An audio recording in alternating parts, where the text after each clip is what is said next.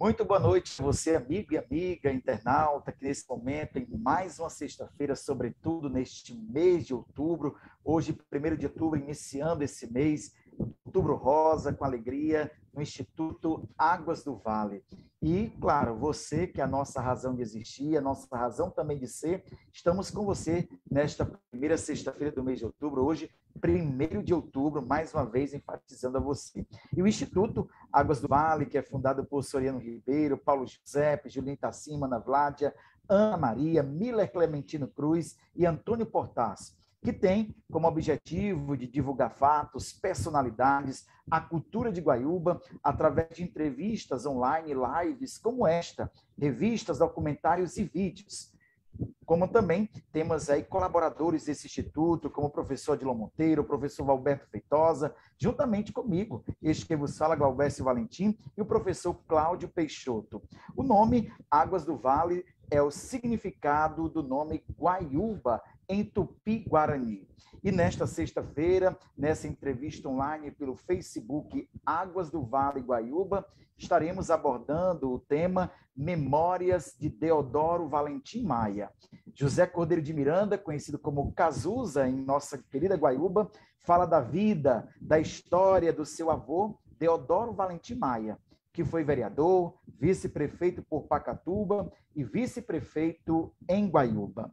Hoje, em nossa bancada, estaremos recebendo, estamos, melhor, recebendo os nossos entrevistadores, o professor Valberto Feitosa, professor Alain Felipe Silveira e o psicólogo Paulo Giuseppe Araújo. Com grande alegria também, né, já anunciando também a todos vocês, o nosso querido Cazuza, vereador por município de, Gua, de Guaiúba, atual legislatura, e, claro, a todos vocês que estão conosco, a nossa gratidão já por sintonizar. Queremos que você possa fazer o famoso CCC, curtir, comentar e compartilhar. Com isso, vamos estar oportunizando outras pessoas, então, a conhecer e a difundir a história de nossa querida Guaiúba. Então, sem mais delongas, já quero passar aqui para a nossa banca de entrevistadores que nessa noite está conosco. A começar pelo nosso decano, professor Valberto Feitosa. Seja muito bem-vindo, Valberto. Boa noite. boa noite, boa noite. Obrigado aí pelo decano. Rapaz, hoje é um prazer estar aqui com vocês, conversando aqui com os guaiubanos, meu amigo Cazuza. Um forte abraço para ele e para a família. Aqui na companhia do meu amigo Paulo José Soriano e na sua companhia também, meu amigo Glaubes. E aqui hoje, aqui está aqui, eu nunca tinha conhecido pessoalmente, mas estamos aqui agora no pessoal virtual, né? Que é o Alan Felipe. Então, eu estou aqui satisfeito hoje. Só tem esse probleminha desse atraso. A gente pede desculpa aos internautas, né? Tem um problema técnico, mas nós já estamos aqui para falarmos de Guaiúba, recordar das boas lembranças. Que bom, então, professor Alberto. Seja bem-vindo. E abraçar agora e as suas considerações iniciais ao professor Alain Felipe Silveira. Olá, boa noite a quem nos assiste de casa. Boa noite, principalmente, ao nosso convidado de hoje, professor e vereador Cazuza, né, José Cordeiro de Miranda, é, conterrâneo, e ressalta a satisfação de estar contribuindo né, com o Instituto Águas do Vale, por mais uma vez, um instituto que é, tem é, o ideal de tratar é, com seriedade da cultura né, de Guaiúba e de outros elementos referentes a essa cidade tão jovem e tão rica. Né? Principalmente, é uma satisfação hoje é, conversar, né, trocar ideia com os convidados e o professor e vereador Cazuza a respeito dessa figura tão importante que foi o senhor Deodoro Valentim Maia, que ao mesmo tempo que falar dele é falar de um pedaço né, da história desse distrito, Antiga Torre Itacima. Então, boa noite mais uma vez. Obrigado, então, professor Alain Felipe Silveira, e passamos agora as considerações iniciais ao seu boa noite, psicólogo Paulo José, colaborador também, fundador do Instituto Águas do Vale.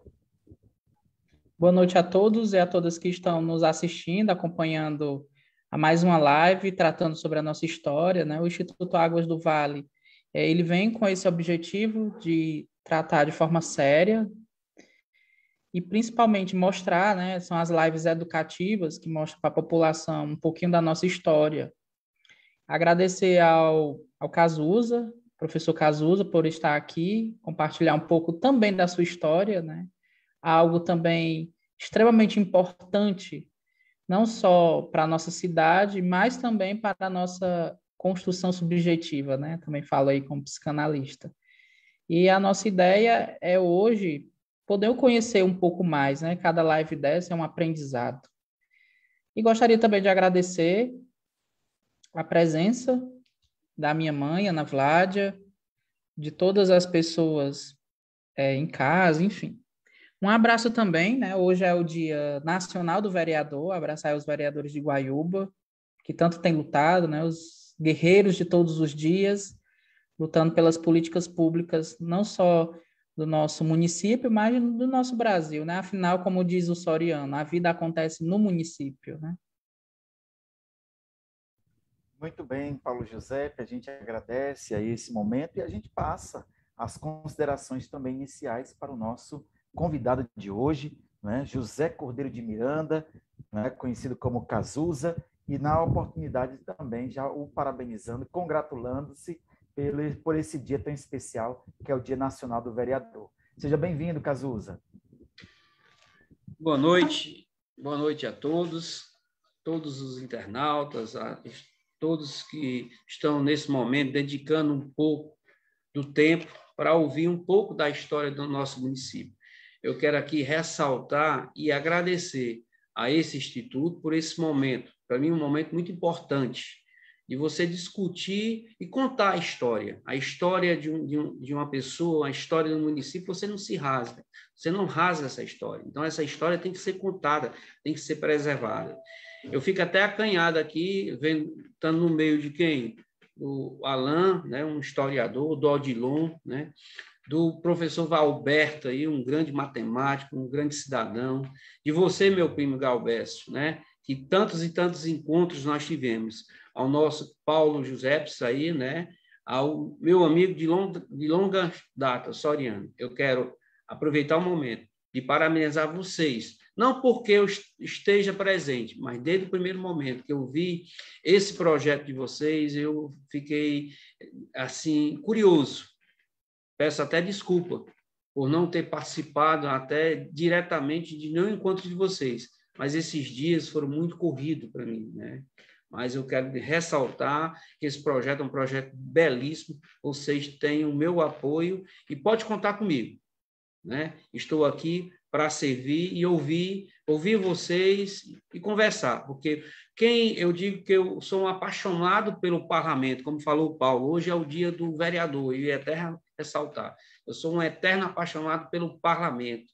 O parlamento, falar, falar, dialogar, discutir. Essa é a minha missão de cidadania. Então estou à disposição de vocês. Obrigado, então, Cazuza. Hoje, né, nós estamos aqui, com certeza você que está em casa, nos acompanhando por meio das redes sociais, especialmente o Facebook nessa noite, Águas do Vale Guaiúba, vai poder contribuir também né, com esta live, que está iniciando a partir de agora, obviamente com o seu comentário, com o seu compartilhamento e, sobretudo, com a sua curtida. Muito obrigado por você estar conosco. Vou pedir também ao professor Valberto Feitosa que em suas participações sempre possa trazer aí os comentários, como ele sempre faz com maestria aqui durante toda essa nossa live de hoje. Mas, e o nosso tema de hoje é Memórias de Deodoro Valentim Maia, então vamos conhecer né, essa personalidade para o município de Guaiúba.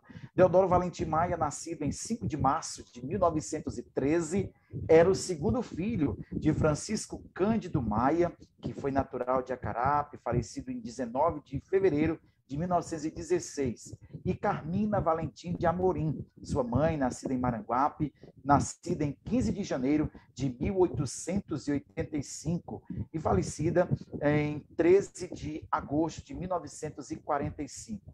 Casados em Maranguape, né, aos 22 de janeiro de 1910, sendo seus avós paternos o paraibano de Catolé do Rocha, Manuel Benício Alves Maia, e a limoeirense Maria Madalena Maia e maternos José Valentim de Amorim e Maria Mequelina de Amorim. Casou-se aos 22 de outubro de 1932 na matriz do município de Redenção com sua prima Alice Valentim Cordeiro, nascida aos 5 de maio de 1914. Era filha de José Cordeiro de Miranda e Guilhermina Valentim de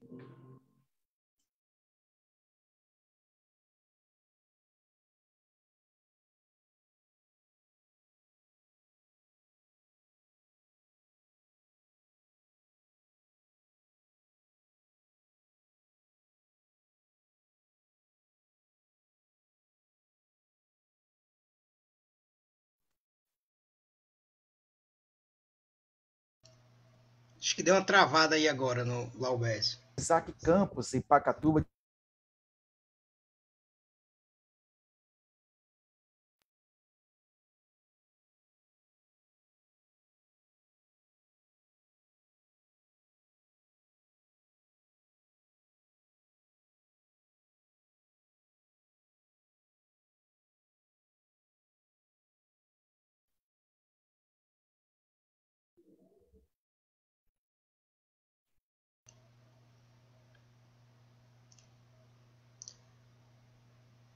Glaubés, deu algum problema Estamos aí, de volta. Estão me ouvindo?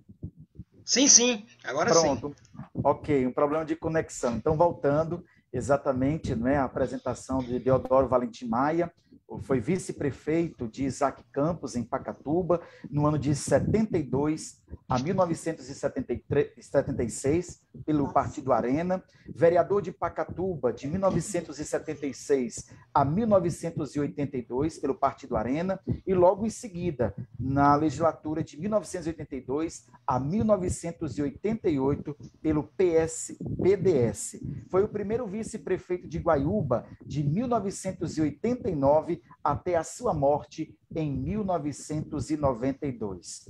Então, estamos falando de Deodoro Valentim Maia.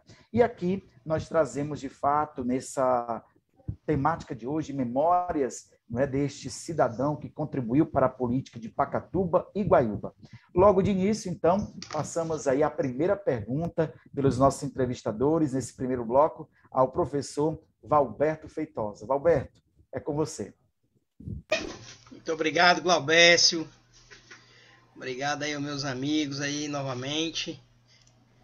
Cazuza, é, seu avô ele foi primeiro vice-prefeito, né? Eu me lembro porque eu era jovem, tinha um pouquinho mais de cabelo, e eu me lembro ainda dele ainda fazendo campanha, mais o Antônio Carlos Fradique, Verdade. subindo nos, nos palanques, ele já era uma certa idade, né? Já tinha uma certa idade, né? E aí eu, a minha primeira pergunta vai na direção da emancipação. Como era, qual foi a atuação né, do seu Deodoro para a emancipação política de Guaiúba? Essa é a minha pergunta, vai em direção nesse sentido. Roberto, antes de, de responder a sua pergunta, eu queria aqui agradecer e, e, e, fazer uma referência à minha família, né? A minha família que é a base, a base da minha cidadania, né? Agradecer os amigos, agradecer a minha família em que a pessoa da minha esposa, aquela que labuta dia a dia comigo, através dos meus filhos e todos os meus familiares, tios, primos, irmãos. Então, eu queria mandar saudar a todos os meus familiares e principalmente meus amigos. E em relação à questão da pergunta da emancipação, vovô, o seu Diodoro, ele era muito ligado a, politicamente ao seu Isaac e também ao doutor Antônio, que era pai do, pai do Antônio Carlos. E o doutor Antônio tinha um sonho, como vários, vários guaiubanos, na emancipação.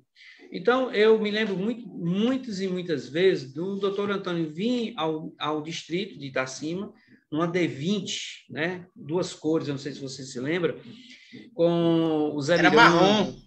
Justamente, Era, era duas cores, mas Era, era, marrom, marrom, né? branco, eu acho. É, assim. pronto. Aquela D20.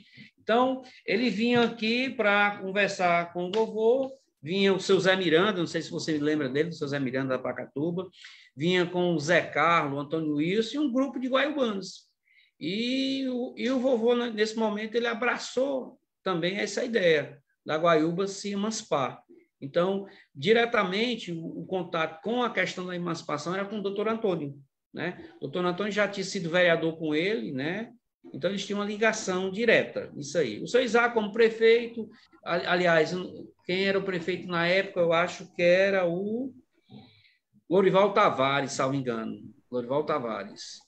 Né? Sim, sim, era o Lorival. Inclusive, ele, ele lutou pela emancipação na mesma época de Itaitinga, que ele foi também o primeiro prefeito, eu acho. Primeiro prefeito. Então, foi a partir desses encontros que começou a sonhar da emancipação da Guaiúba ser cidade.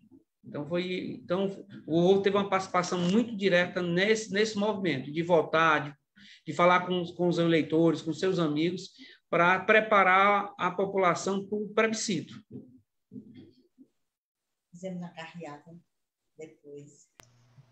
É, a Cleba está até lembrando, nós fizemos uma carreata, nós fizemos encontros, nós fizemos reuniões. E eu, inclusive, nesse momento que eu, que eu tinha chegado há pouco tempo de, de Pernambuco, eu, eu, inclusive, participei de algumas reuniões aqui na escola Francisco Pereira de Andrade, com o seu Zezé Leitão, com, eu não estou lembrado, um deputado estadual, até perguntei o Alan, o Alan, se ele lembrava, um deputado estadual, mas o Maciel, né? mais seu Zé Miranda, um grupo de pessoas aqui, né? E fora o seu Deodoro, o Tarcísio Benevides, toda essa, toda essa, é, essa nata política né, do momento. Muito bem. Alguma réplica aí, professor Roberto? Vamos deixar para o próximo, né? Então, então, vamos lá. Então, passando agora a vez né, do professor Alan Felipe Silveira, que vem nesse primeiro bloco aí com sua pergunta ao nosso entrevistado de hoje. Mas antes do Alan falar, eu queria, gostaria, teve, travou aqui quando eu falava do casamento, né, do seu Deodoro Valentim Maia, e vou fazer aqui nessa leitura novamente. Então, seu Deodoro Valentim Maia casou-se aos 22 de outubro de 1932, na matriz do município de Redenção, com sua prima Alice Valentim Cordeiro, nascida aos 5 de maio de 1914. Na mesma era filha de José Cordeiro de Miranda e Guilhermina Valentim de Amorim. Então, vou passar aqui para Alain Felipe. É, como o próprio título da, da live, né, do encontro já sugere, a gente vai tratar de, de uma história e memória, né? Memória, como, como lembrou o Cazuza, ela dura, né? A, na família, dura na sociedade, né? Principalmente através das lembranças. E as minhas perguntas a respeito do seu Diodoro, eu gostaria de fazer do presente para o passado, né? Eu queria saber, é, ainda hoje, né, é, há quase 30 anos né, da morte do, do seu Diodoro, outras atividades políticas na família, outros indivíduos né, da família na política. Eu queria saber, é, Cazuza, como você ainda percebe a, a memória e a lembrança do seu avô, principalmente na no distrito de Itacima, né? Como, como você avalia, né, se, se ela ainda é grande, né, se, se ela ainda é muito presente, não só na família, mas na sociedade como um todo? Uma, uma pergunta assim, assim que mexe com os, os, sentimentos, mexe com o nosso ego. Você, como, como filho desse distrito, neto do Baleia, a dona Raimunda, a dona Raimunda Félix, né? a, primeira, a primeira merendeira aqui dessa, escola isolada, você conhece assim todos toda toda a história do distrito de Itacima o que me engrandece e que mexe com, nosso, com, com, os meus brios é que a gente na vereança, eu digo assim, que a gente eu gosto de gente, eu gosto de ouvir as pessoas, eu gosto de estar dialogando. Infelizmente, nesse momento de pandemia, quando eu voltei ao Parlamento Municipal, me distanciei um pouco, com um pouco de medo. Mas o que as minhas andanças casa a casa, conversando com outras pessoas mais antigas, então era eu sempre é, vi grandes assim elogios, pessoas falando com carinho da memória dele. Então eu acredito que a memória do seu Deodoro, como político, como cidadão, está sempre viva, principalmente porque porque mexe com a construção do açude. Porque se você se você sabe bem que antigamente o abastecimento daqui dessa cidade era através do rio, através de cacimba. Então a dificuldade d'água era muito grande. Então, quando falar do senhor Deodoro, mexe com a questão do açude. E também, eu acho que não sei se você chegou a conhecê-lo, mas quem conheceu, ele era um homem muito pacato, muito calmo, é, é, é, você conversar com ele, eu nunca vi o vovô de repente perder a paciência ou de repente ficar com raiva. Então, isso na população, aquela calma, aquela tranquilidade, a passividade dele, ficou com no distrito da Itacima e também aonde ele andava. Ele, apesar de poucos estudos, mas era um homem muito educado muito calmo, muito tranquilo. Então, hoje a memória dele ainda está muito viva. Aqui e acolá eu encontro umas pessoas mais idosas e sempre relembram. Ah, o compadre Deodoro, o seu Deodoro fez isso, fez aquilo. Então, isso me, me mexe com os brios, aquele orgulho positivo, aquele orgulho que envaidece a gente, né? Serve até de exemplo como político, né? Porque foi uma pessoa que deu muito de si é, é, é, até os seus bens, né? ele dispôs seus bens em determinado momento para atender a questão da população.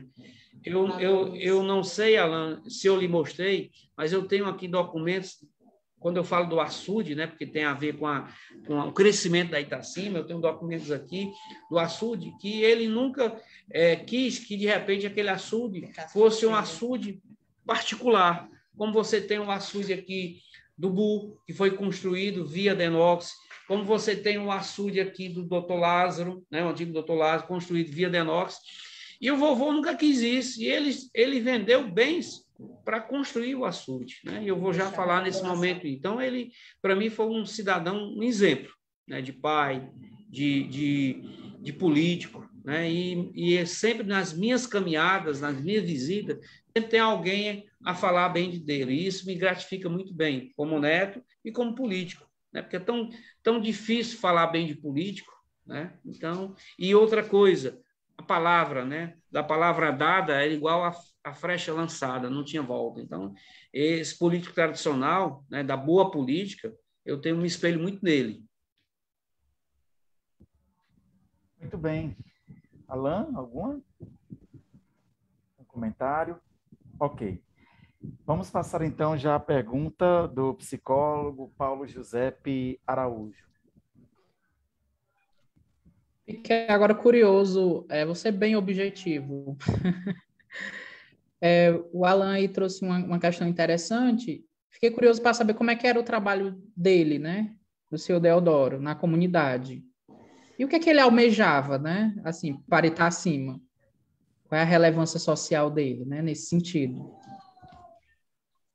Ô, ô Paulo, é, você voltar ao passado é muito difícil, porque você, quando você tem uma história contada em, livro, em, em livros é, ou, ou, em, ou em documentos, é muito fácil mas a questão do dia a dia, do corpo a corpo do vereador, por exemplo, eu me lembro do, do, do, meu avô contar que ele foi por três, quatro vezes vereador por Pacatuba sem receber nenhum salário.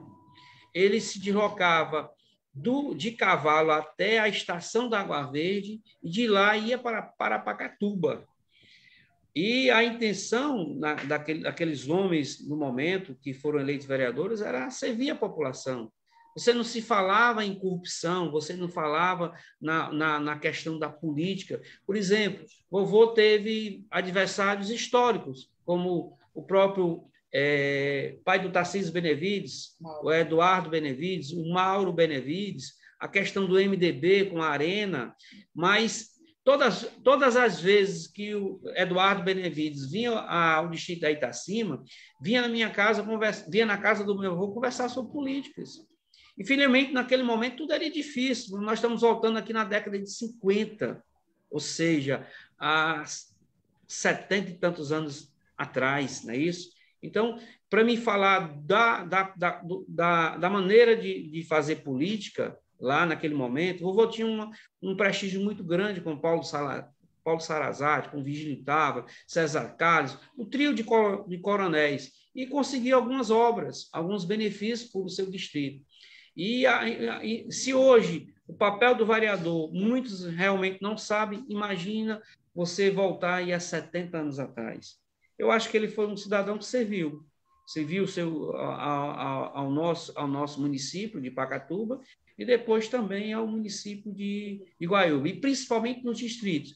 O Alan que conhece, quase todas as obras, né, ou foram conseguidas por ele, né, ou foram, por exemplo, a escola que eu, que eu leciono, Francisco Pereira de Andrade, essa escola, Paulo, ia lá para Pacatu, para Itaitinga. Só que lá na Itaitinga não encontrou ninguém que fizesse a doação do terreno, que a prefeitura não teria condições de comprar o terreno, Alberto. E foi o que o vovô fez. Não, quero a escola, traga para cá. Doou o terreno que é a Escola Francisco Pereira de Andrade. Né?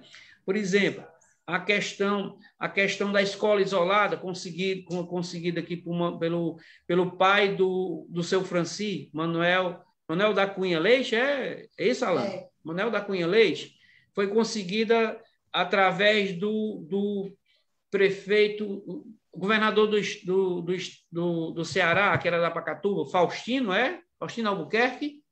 É. É isso? Pronto. Vovô doou o terreno, né? As praças, né? As praças, algumas escolas. Então, dentro do possível, né? Dentro do possível, né? Foi muito atuante, né? Questão, a questão de, de posto de saúde. Então, eu acho que ele contribuiu com tanto com o município de Pacatuba, como também com o município de Guaiúba. Ele era muito atuante, ele era muito pacificador, verdade é essa. Muito bem, então a gente traz aqui né, nessa noite a temática Memórias de Deodoro Valentim Maia. Estamos conversando com o seu neto hoje, né, do Poder Legislativo do município de Guaiúba, vereador por Guaiúba, José Cordeiro de Miranda, conhecido como Cazuza, e nós estamos trabalhando especialmente né, nessa noite com os nossos parceiros Fábio Geladão, no bairro Santo Antônio, onde tem ali aquela cerveja gelada, onde você, de onde você estiver, você pode fazer o seu pedido através do Zap, que é o DDD 859 8884 1141. Vou repetir, 98884 1141. E também através do Story Hall, é, em O Tempo do Entretenimento, que no próximo dia 13 de novembro vai trazer aí The com Augusto e tem mesas limitadas. Então, se você aí já curte aquele som, né, The então vai poder curtir né, presencialmente nesse dia 13 de novembro, com mesas limitadas, e você vai poder reservar já sua mesa através do número DDD 859 8739 5702. Repetindo, 98739 5702. Né? Então, falei aí de Surrey Hall, o templo do entretenimento. E voltando aqui especialmente, vamos para o nosso segundo bloco de entrevistas, hoje recebendo mais uma vez o vereador Cazuza, assim como conhecido José Cordeiro de Miranda, trabalhando hoje nessa temática Memórias de Deodoro Valentim Maia. Então a gente já passa aí para o nosso entrevistador, o professor Valberto Feitosa. É com você, Valberto. Muito obrigado. Cazuza, é, em que ano o seu Deodoro chegou aí na Itacima? E, e como é que foi essa, essa questão do povoamento da região? Porque eu me lembro que você me falou um pouco disso certa vez, né? Onde doou terreno para as pessoas, tá certo?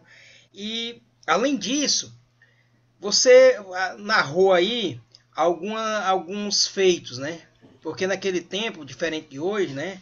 É, o Estado era muito pobre, né? O Estado não tinha condição de comprar terreno, né? A dona Zuilene é, passou aqui na rua mesmo dificuldade sua, tá certo? Que para é, é, construir a escola tinha que ter o terreno, tinha que ter o local, né? O Estado não tinha esse dinheiro, né? Que hoje subentende que tem. E aí a minha pergunta vai nessa direção. Qual foi o ano que o senhor Deodoro chegou em Itacima? E a partir de então, o que foi que ele começou a fazer, né? E se você pudesse contribuir mais um pouquinho com os prédios. Que o senhor Deodoro, ó, esse prédio aqui a gente trouxe para cá, não tinha terreno e nós doamos. Bom,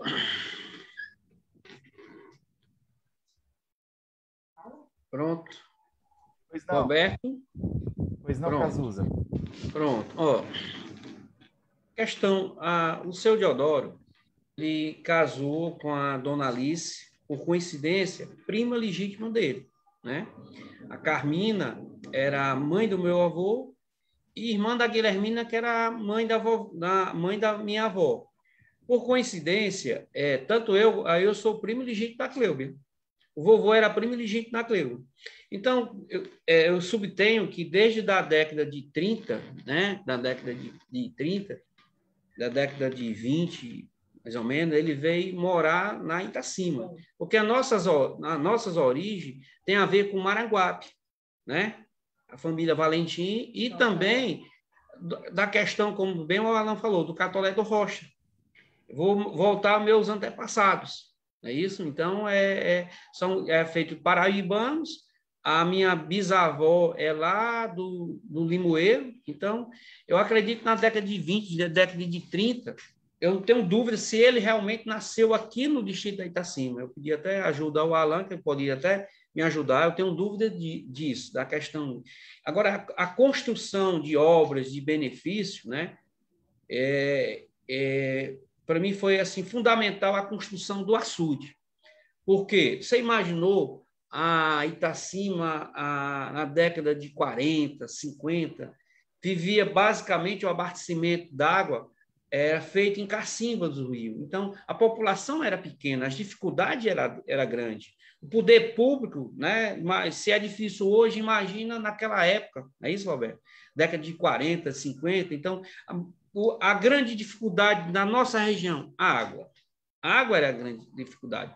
É tanto que quando ele votou no, no Paulo Sarazate, ele teve um compromisso de arrumar para ele 200 votos naquela época. Para o Paulo Sarazate dizia isso. A política, ele entendia naquele momento, você dá com a mão e recebe com a outra.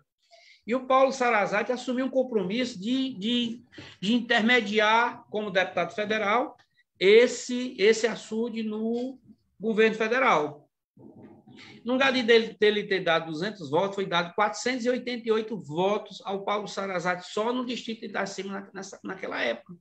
E o Paulo Sarazate tinha tirado 700 e poucos votos na Pacatuba toda. E ele, e a partir daí, é, gerou uma amizade. Inclusive, Alan, eu não sei se você sabe, o Paulo Sarazate foi o primeiro governador a vir aqui a Itacima. E nesse dia festivo, o Baleia, o seu avô, né? Soltando fogos, Alberto, queimou a mão. E para onde? Quem foi que socorreu? Imagina, o governador. O Baleia foi socorrido pelo governador Paulo Sarazate, um grande cidadão, um grande político na nossa história, né? Foi para Fortaleza, passou alguns dias, porque teve a mão queimada, né? E foi privilegiado, né? Foi para a casa do governador e tudo mais. E a partir desse momento, criou esse, esse vínculo, né? Não sei se você sabia disso, sabia, Alain? Não, sabia da história de, de ter queimado a mão. Pronto, né? Mas pois ele foi contexto... lá para a casa do, do, governador. Então, em relação às obras, é, se você olhar as praças, as escolas, por exemplo, Cazuza, a Escola Maria Cavalcante Leite, Bom Princípio, Escola da Carrapateira, né? a Escola Francisco Pereira de Andrade, é, terrenos, né? as, as praças. Né? Então, tudo isso foi através de, desse parlamento. Agora, é, a, a questão da maternidade, né? que o Alan sabe o que era a maternidade, terminou intermediando, foi construída a maternidade, a, foi comprada a, a, maternidade da Itacima, então foram várias, várias obras. Mas eu, eu, eu quero dizer, diga ao Valberto e a todos que estão, que estão, estão, estão me ouvindo, a construção de uma política local, ou de um distrito, ou de uma cidade, não é feita por um só homem, ou por uma só pessoa. É feita por muitas mãos não é isso? Eu não posso dizer aqui que, que todo esse legado, tudo isso, foi, foi uma construção de uma mão só. Houve participação de outras pessoas, de outras lideranças. Eu não posso de, de, citar aqui o seu Oswaldo, foi vereador também, que deve ter contribuído com, com a questão de obras de benefício tanto na Pacatuba quanto no distrito da Itacima. O, o, a dona Zanira. Hã? Cazuza, só me interrompendo, agora você falou na pessoa, o seu Oswaldo, lembro dele, pessoa maravilhosa, viu? Pronto. Porque a política é isso, Valberto. A política, você não pode pensar em construir uma política, Alain, como se fosse você só que tivesse feito tudo.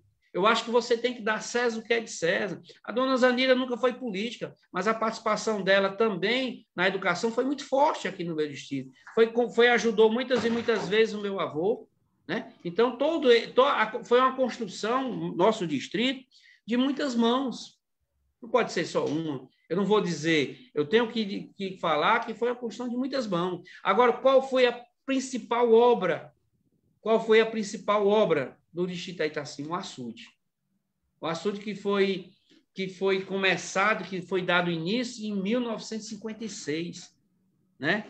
E na época que o Paulo Sarazate construiu, é, conseguiu o açude, é, o DENOX, o governo federal, só contribuía com 70%. E os outros 30% teria que ser a prefeitura que, que fornecesse esse dinheiro. Infelizmente, a prefeitura não tinha esse recurso não tinha, não tinha esse dinheiro para fornecer para o município. Foi o que meu avô fez.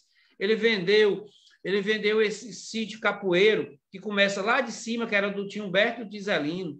Vendeu o, o, o sítio Saco Torre, né? que foi do João Ramos, o Alan sabe quem é, e depois do Itaés, hoje é um assentamento. Vendeu um sítio lá na, na Serra do Araticum, um sítio de café. Vendeu parte da herança do, do meu, do, do, da minha avó lá em Maranguape. Eu não sei se o Alan sabe dessa história, eu me dirijo ao Alan porque ele mora aqui, é um, é um historiador, é um curioso. No dia. Começa, as obras do açude começaram em 1956.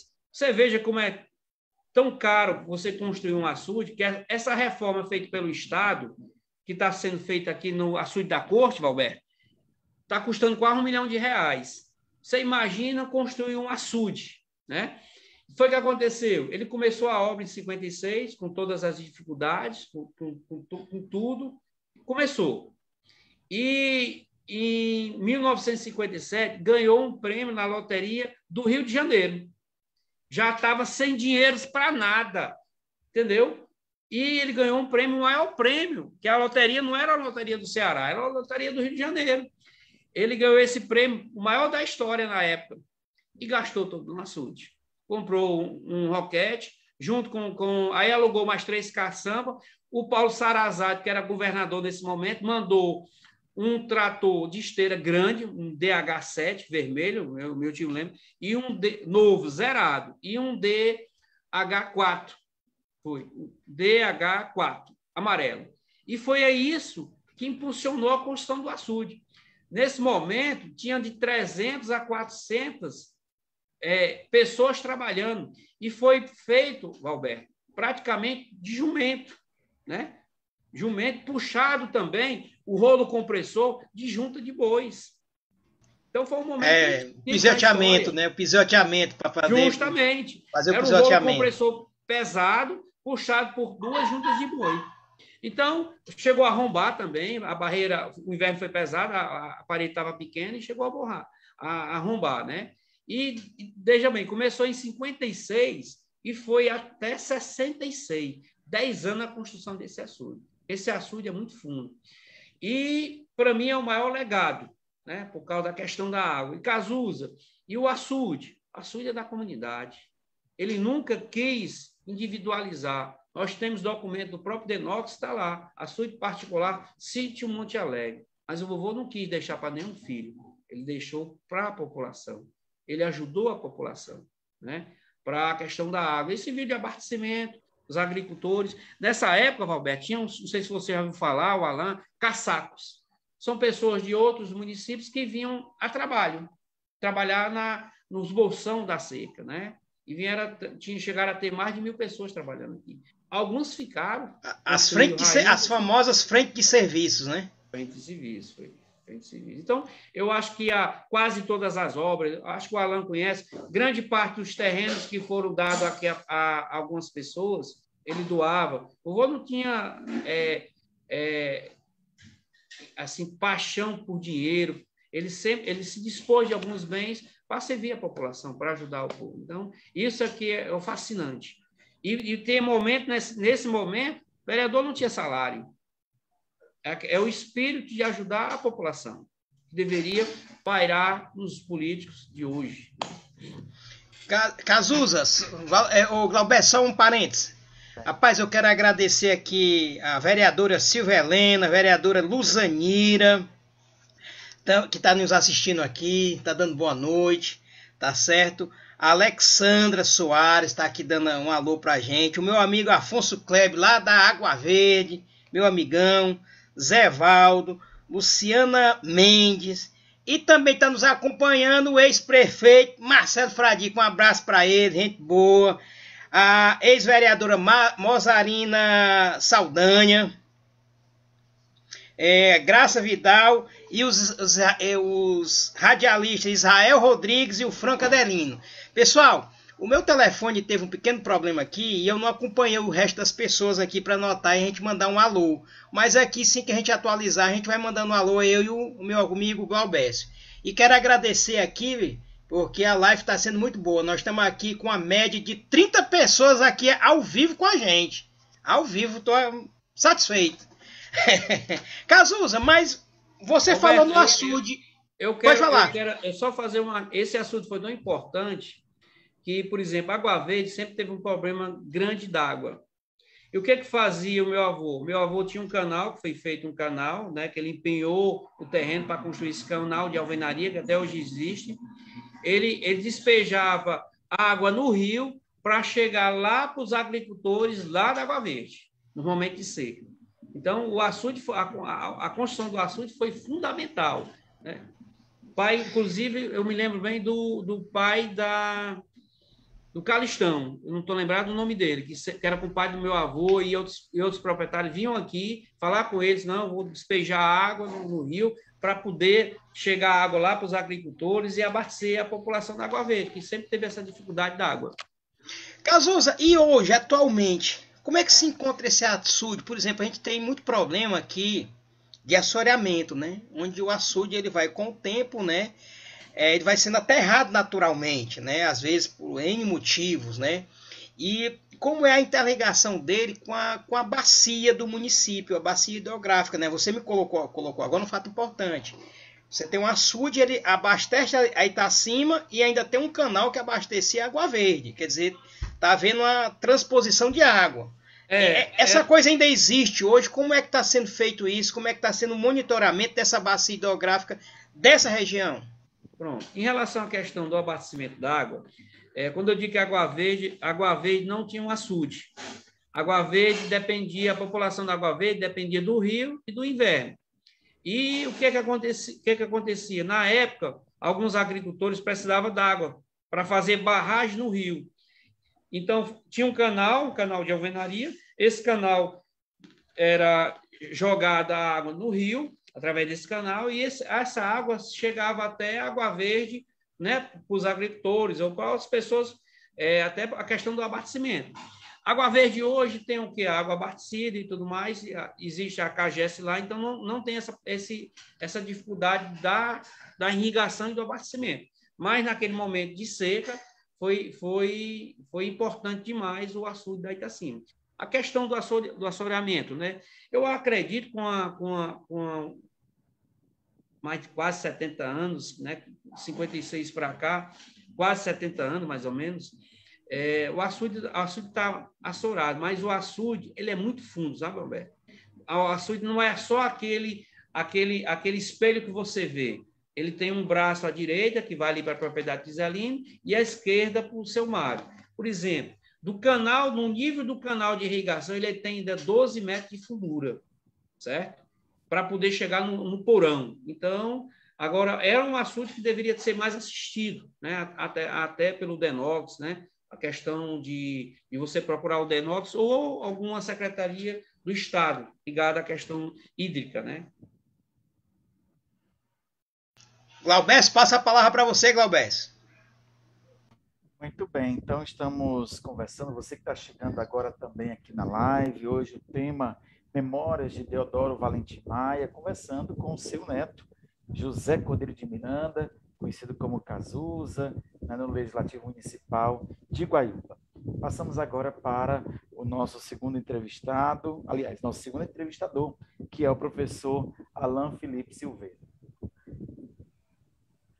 Pronto, antes de partir para a pergunta, eu queria só aproveitar, né, para que a, a, gente fala, não fala apenas para quem é de Itacima, né, a gente de todo município e de fora do município, que às vezes não é, tem uma compreensão, obviamente, naturalmente, né, da, da história do distrito, né, respondendo um pouco também a pergunta do professor Valberto a respeito da origem do, do senhor Diodoro, né? Eu falo aqui como pesquisador. E muito provavelmente o senhor Diodoro de fato nasceu em Itacima, né? A, a história de Itacima, ele, ela, o povoamento de Itacima, ele é um grande encontro entre maranguapenses e acarapenses, né? Diga-se assim que faziam a rota pela serra, né? O Acarape e por que essas pessoas chegavam aqui? Porque essas pessoas tinham chegado no Acarape já de outros lugares do sertão, né? Como é o caso da própria família Maia, né? Que tem a origem no Catolé do Rocha. Eles não chegam no Acarape por acaso, né? Aquelas pessoas elas foram transportadas é, pelas condições terríveis condições da seca de 1877. É por isso que se tem a origem do Francisco Cândido Maia no Acarape, o pai do senhor Deodoro, né? Era costume de que os casamentos se fizessem na freguesia de origem da esposa.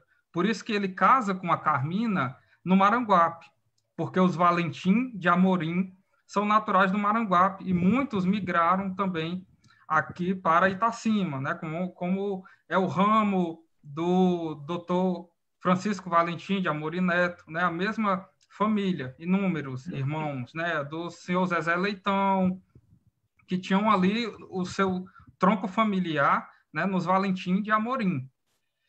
É, essa, essa, essas pistas né, são tão ligadas dessa migração pela serra, porque quando o Francisco Cândido Maia morre, não sei por que razão né, qual a causa da sua morte, em 1916, fica Diodoro e Diomédia, professora Diomédia, de Itacima, a, a, filha mais velha, com cinco anos, e o senhor Diodoro com três.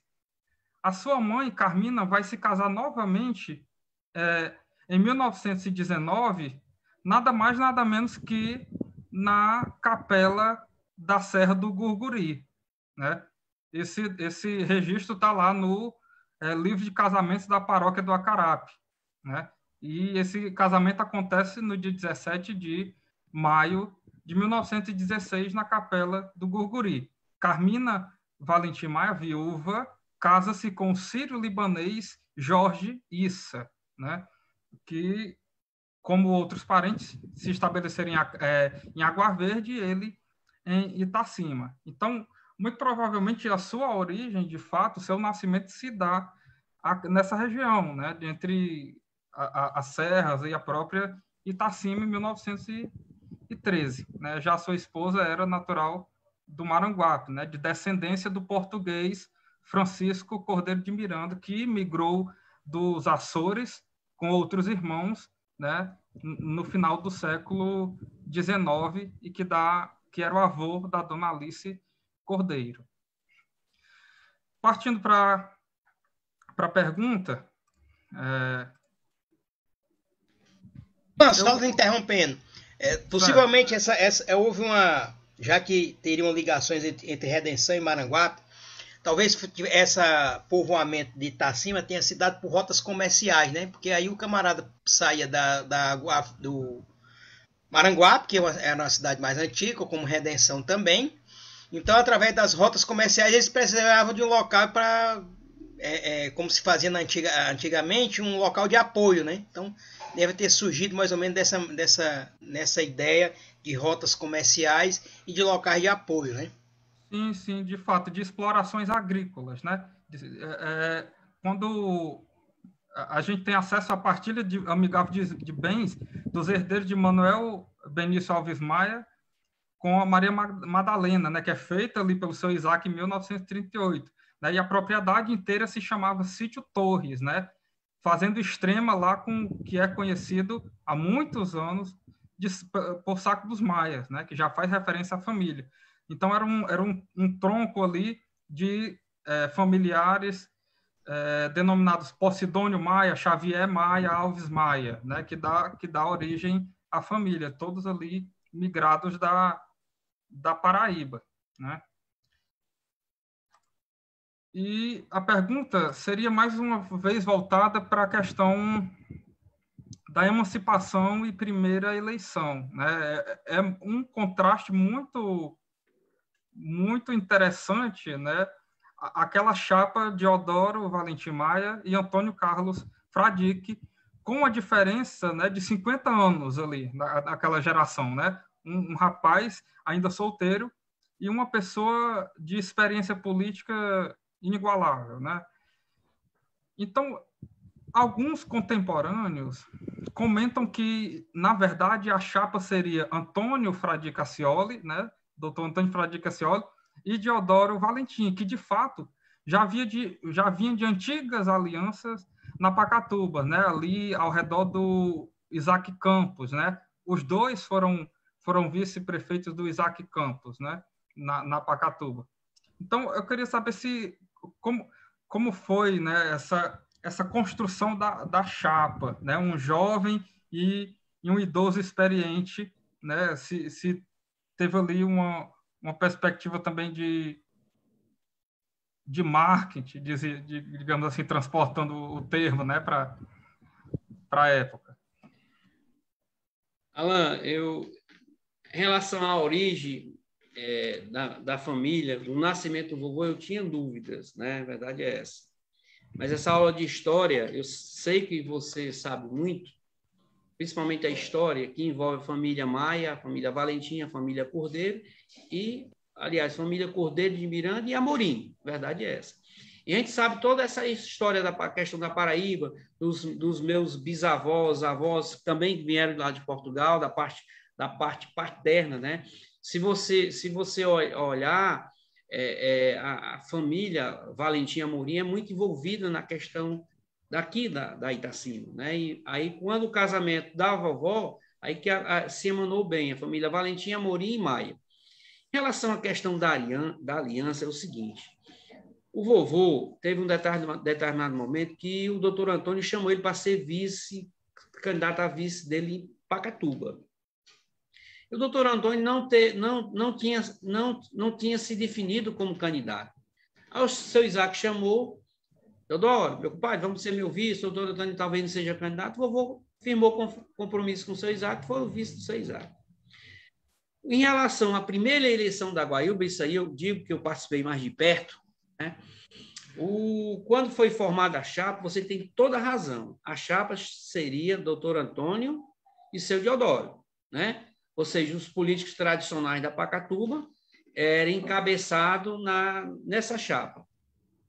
Mas, é, por uma questões de, de opiniões, de pesquisa, né, se falar em comentário, foi mudado a chapa.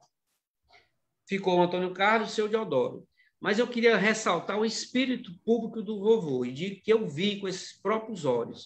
O vovô nunca teve ambição política nem ambição financeira, né? Foi um homem despre, é, desprendido de, dessa, dessa, desses é, é, vícios, posso até de vícios, a questão política, a ambição política ou a ambição financeira. No dia da convenção, Alain, por incrível que pareça, a, a convenção dos quatro candidatos a prefeito foi no Manuel Baltazar, cada um na sua sala.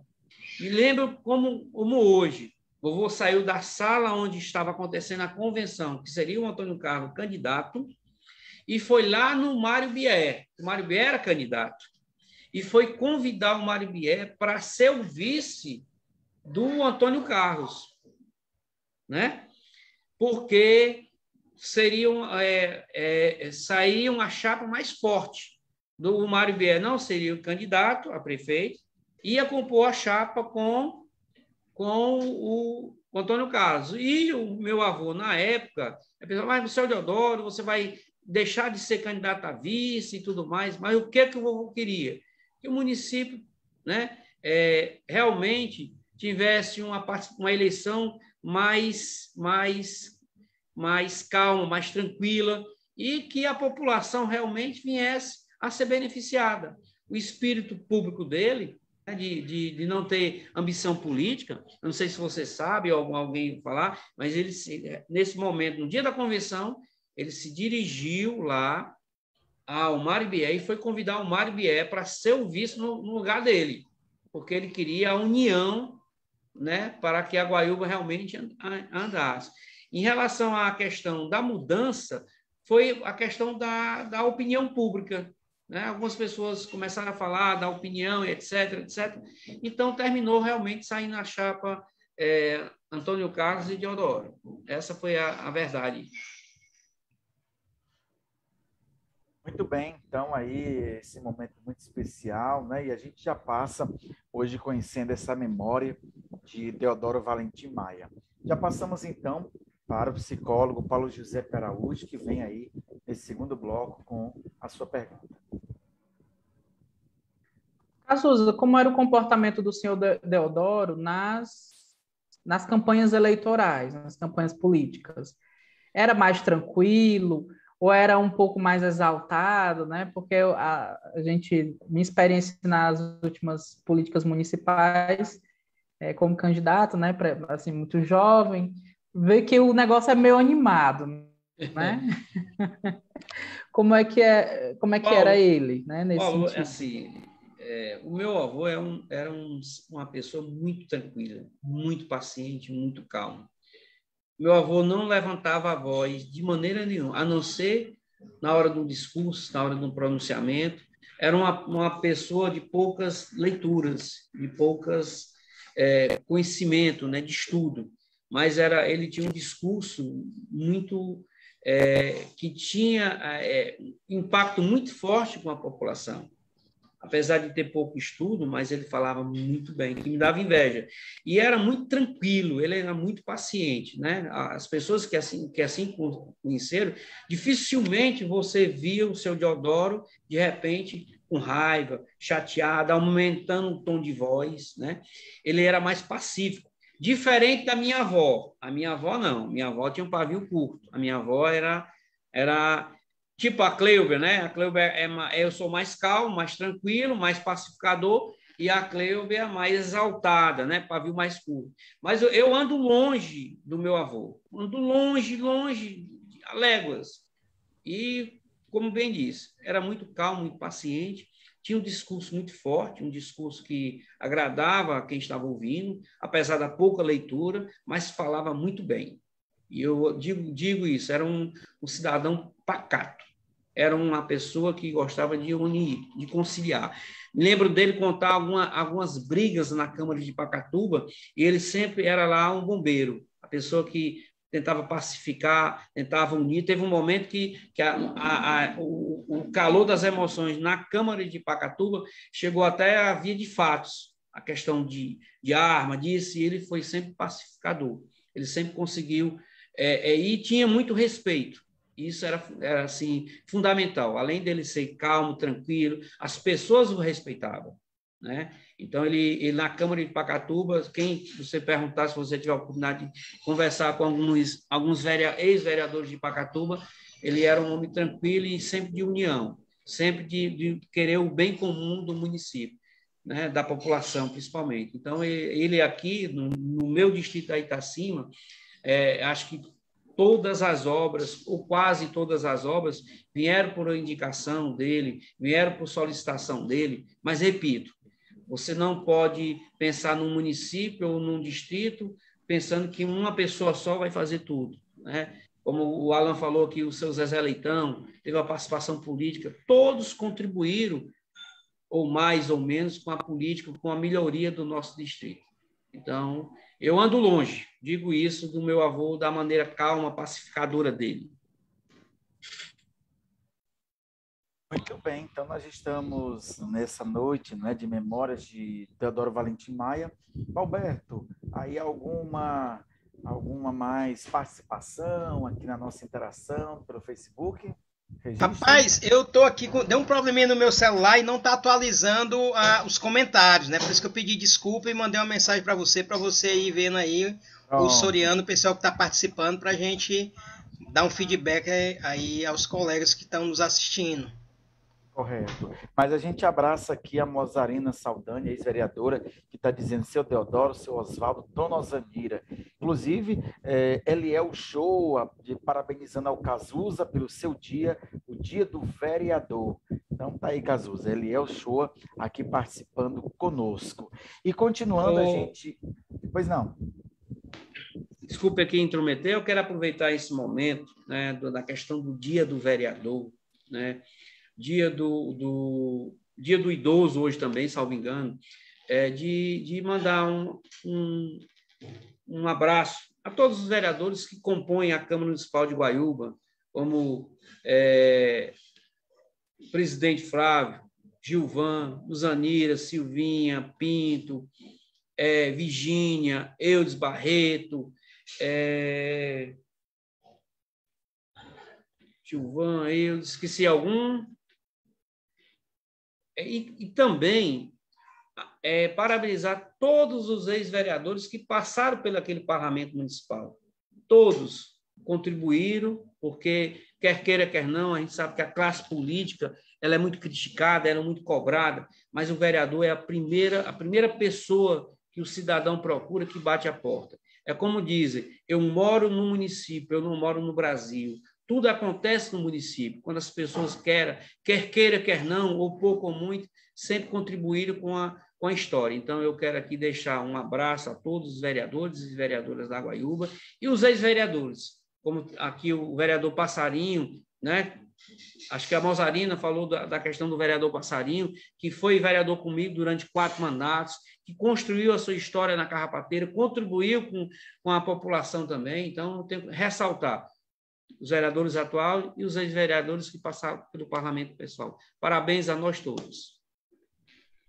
Muito bem, e assim nós também registramos aqui a Valnice Abreu, dando seu boa noite, dizendo parabéns, Cazuza, ao Erineu Rodrigues também participando conosco, e ao Marcos Ribeiro, né, dizendo assim, boa noite, que Deus abençoe sempre.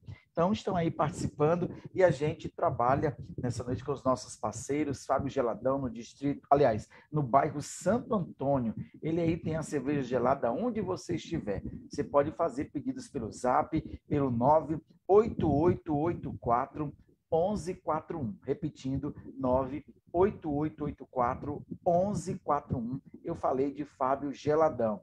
Também trabalhamos aqui com a parceria de Story Hall, o Templo do Entretenimento. Inclusive, no próximo dia 13 de novembro, traz aí The com Augusto.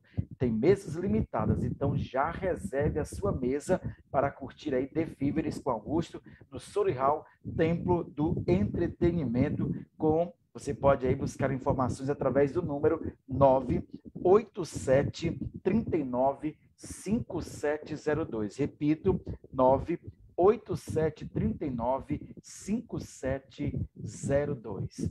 Já falando aqui especialmente, vamos para o nosso terceiro bloco, agora com mais uma rodada de perguntas com os nossos entrevistadores. A iniciar mais uma vez pelo nosso querido professor Valberto Feitosa. Valberto, obrigado pelo querido, viu? Muito obrigado. Cazuza, é, como é que foi a atuação do seu avô na como vice-prefeito, né? Como é, como é que foi nos bastidores na eleição, propriamente dito, e no mandato, né?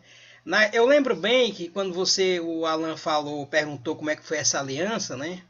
E aí eu a gente percebia no, no movimento político guaiubano que naquele momento as pessoas diziam, é, se o doutor Antônio, se o senhor for o candidato, o senhor eh, corre risco de perder. Mas se for o seu filho, eu acho que ele tem muita chance de ganhar. Porque ele é um cara jovem, tá? Aquele, né, aquela coisa de juventude, né? Muita gente aí votando jovem, né? E o Antônio Carlos, ele sempre foi aquele cara que, que, que ia ali pro Manuel Baltazar brincar de bola com a gente. Ficar, era um cara do povão, né? Isso a gente não pode negar, não, né? Ele era aquele cara que a gente chegava, conversava com ele, né? E às vezes os meninos, por exemplo, lá no Manuel Baltazar tinha uma uma mesa de ping-pong, né? E aí tinha um amigo meu que uma vez o desafiou, vamos, um desafio que eu estou em casa, ele ia, quer dizer, era um cara, sabe assim, bem é, é, é, relacionado com, com a população, né? Com a juventude, ele tinha um time de futebol, né? E, quer dizer, era uma pessoa que naquele momento tinha uma popularidade em alta. Não era político, mas tinha uma popularidade alta, né? Tá certo? Então isso contribuiu muito para que ele fosse o candidato, né? Isso é uma análise do quem presenciou, de quem viu, né? Porque eu estava lá e estava vendo o movimento, mas... era jovem, mas a gente percebia isso aí. Tá mas é certo? é verdade, foi isso que aconteceu, Alberto. Isso que você está falando foi foi o que aconteceu. Muitas e muitas pessoas chegavam e diziam: olha, doutor Antônio é pessoa boa, trabalhadora, mas se for filho é melhor. Isso aconteceu, isso foi verdade.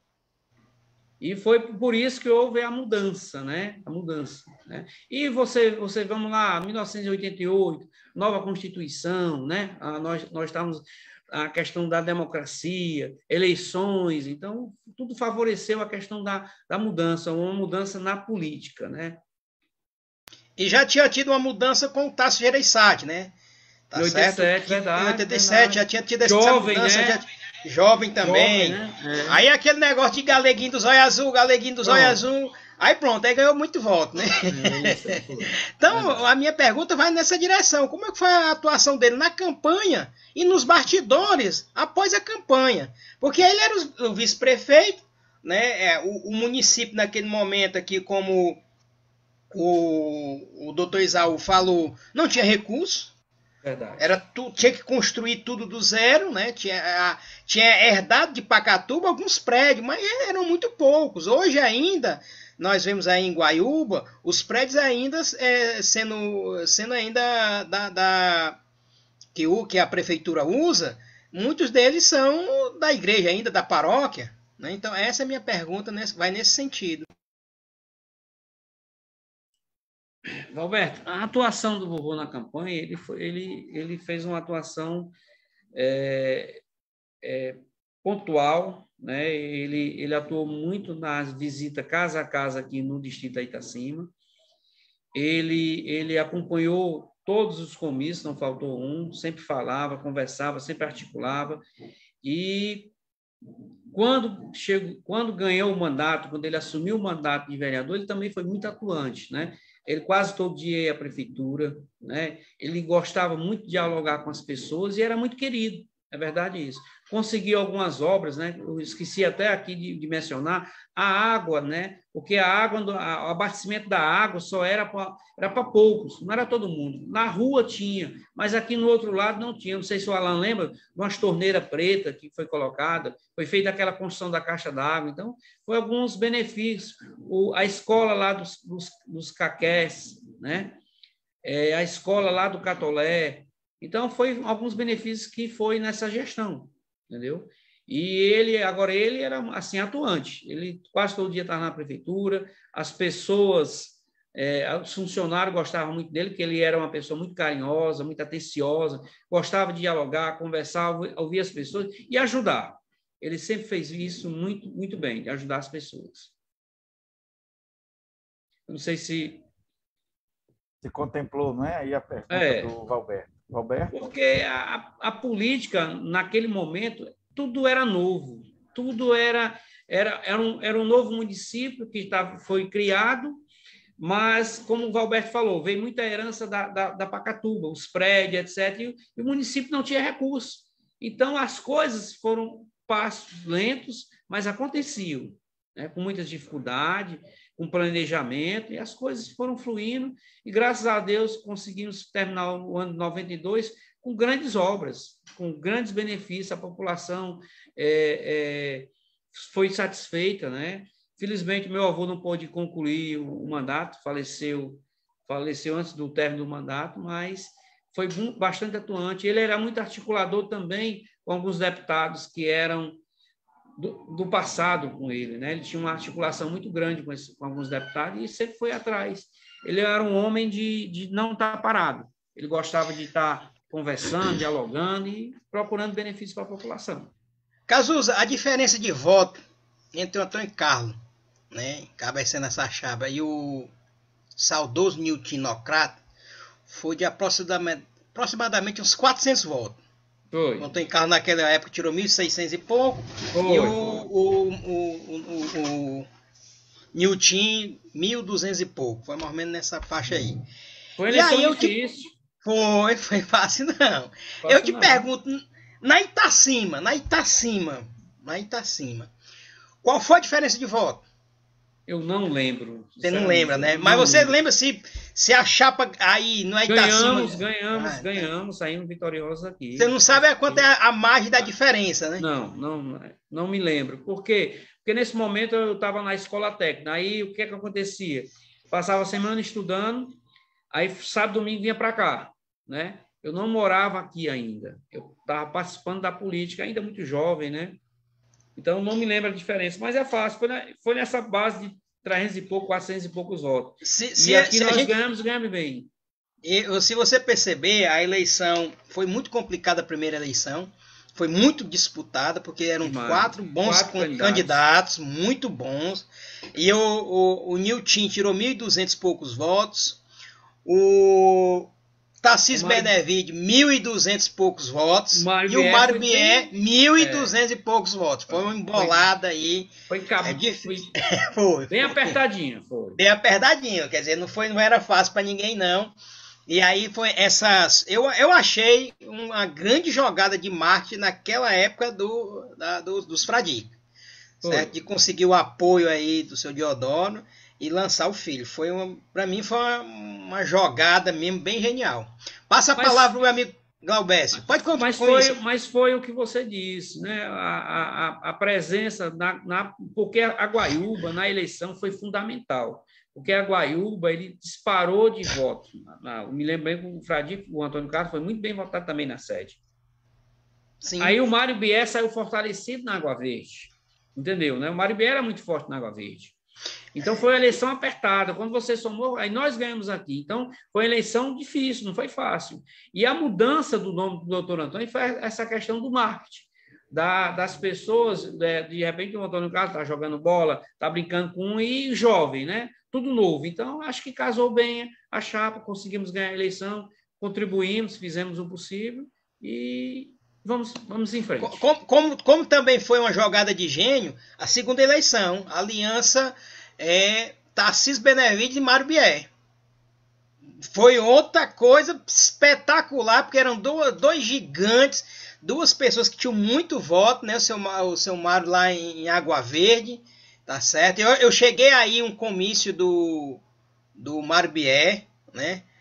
E cheguei a ver vários comícios ali em Guaiúba do Antônio Carlos. Acho que o primeiro comício dele, acho que foi ali nessa rua principal, não sei se é Azal ou Isaúde, sempre eu confundo os nomes, ali perto da frente da casa do, do irmão João Martins. Bem pertinho ali, o Antônio Carlos subiu num bancozinho, um negócio mesmo que a gente. A pessoa ficava até desanimada do primeiro comício dele. Ele sentou, no, subiu no, no. Lembro como fosse hoje, num tamburetezinho mesmo, aí fez um discurso dele lá, pouca gente. Aí eu disse, rapaz, será que esse homem vai ganhar? Tanto pouca gente. Mas ele foi crescendo, foi crescendo e foi empolgando aí o negócio. Galbés, passa a palavra para você. Ok, então, Valberto, tá aí, não é? Hoje, essa história, essa memória de Deodoro Valente Maia, né, para a cidade de Guaiúba. E passo agora a pergunta que vem do professor Alain Felipe Silveira. É com você, meu amigo. Azusa, você, você citou aí a personalidade da sua avó, da, da Alice, né? E tem uma, uma história que eu achei maravilhosa, eu não lembro se foi a Cleuba que, que contou. Uma das eleições que estavam disputando a, a vice era José Xavier Pires e o Baltazar. E o Manuel Conte Baltazar, aí. Em que a sua avó, né, nos bastidores, é, decidiu essa, essa eleição. Né? Eu queria que tu contasse melhor essa, Alan, eu tinha notado esse fato, deixa eu, deixa eu, deixa eu dizer. Na construção do açude, né, é, o seu Hernandes, que era o fiscal do açude, ele era muito católico. E ele conversou com o vovô, Vamos construir uma igreja que tinha uma capelinha antes, vamos construir uma igreja. Então, nesse momento da construção do açude, também veio a questão da construção da nova igreja. Porque, caso alguns, algumas mãos de obras que estavam trabalhando no açude, fazendo a barragem, de vez em quando o vovô tirava para construir a nova igreja. Né? E o que, que acontecia? E as pessoas católicas daqui saíam pedindo prendas, pedindo é, contribuições para concluir a igreja. Foi o que aconteceu. Minha, pegaram um caminhão na época, não lembro se o Tizalino ou no Tio Humberto, e foram lá para Guaíba, Pacatu. Chegaram lá na, na na, na, na Guaiúba foram pedir contribuição lá na, ao seu Baltazar. E ele, eu não sei se foi infeliz nas palavras, ah, o pessoal está pedindo muita contribuição, é contribuição para isso.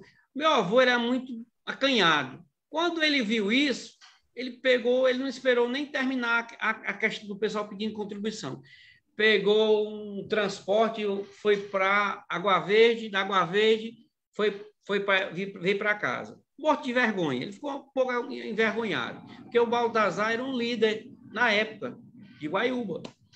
Aí veio a eleição que o Alan está falando. Candidato quem? O Zé Pires, o Baltazar e outra pessoa. E minha avó tinha um gênio muito forte.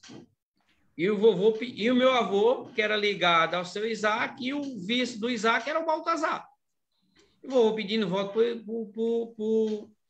o Baltazar, né? Pedindo voto. E aqui sempre, nessa época, dava almoço, né? Fazia aquela festança, né? Era permitido. Aí a minha avó, eu não voto nele de jeito nenhum. Eu não voto nele. Eu vou, eu vou, acalma, Alice, não diga isso, não. É o candidato com o pai de Isaac. Aí vai lá. Resumindo, a vovó tinha as comadres dela, começou a pedir voto por, por Zé Pires. Chegou o Roberto Graça, né? O Roberto Graça, que sempre era atuante na política também da, da, da Pacatuba, da, da, da Pacatuba, e viu aquela conversa. Quando saiu o resultado, o Baltazar teve um, teve um cara de voto aqui que não era para ter porque não era, né, vou falar em reduto, né, não era um candidato apoiado por a, as lideranças locais. Né? E o Zé Pires ganhou com uma quantidade de votos. Quando está lá a apuração, o Baltazar na frente, Alain? Na frente, o pessoal comemorando. Quando vê, o Zé Pires começa a encostar. E vê o resultado aí tá acima, pá, ele ganhou por oito votos, sete votos, eu não lembro. Aí o Roberto, aí o Zé Pires, rapaz, eu ganhei lá na Itacima, quem é que quem é que deu esses votos? Meu, ganhou não, tirou, tirou uns votos que ele sabia que não tinha voto aqui. Aí o Roberto Graça. A dona Alice, vi lá na cozinha dela, pedindo o pessoal para votar em você, que disse que não ia votar no Baltazar. Resumindo a história, o Zé Pires foi vice-prefeito da Guaiúba.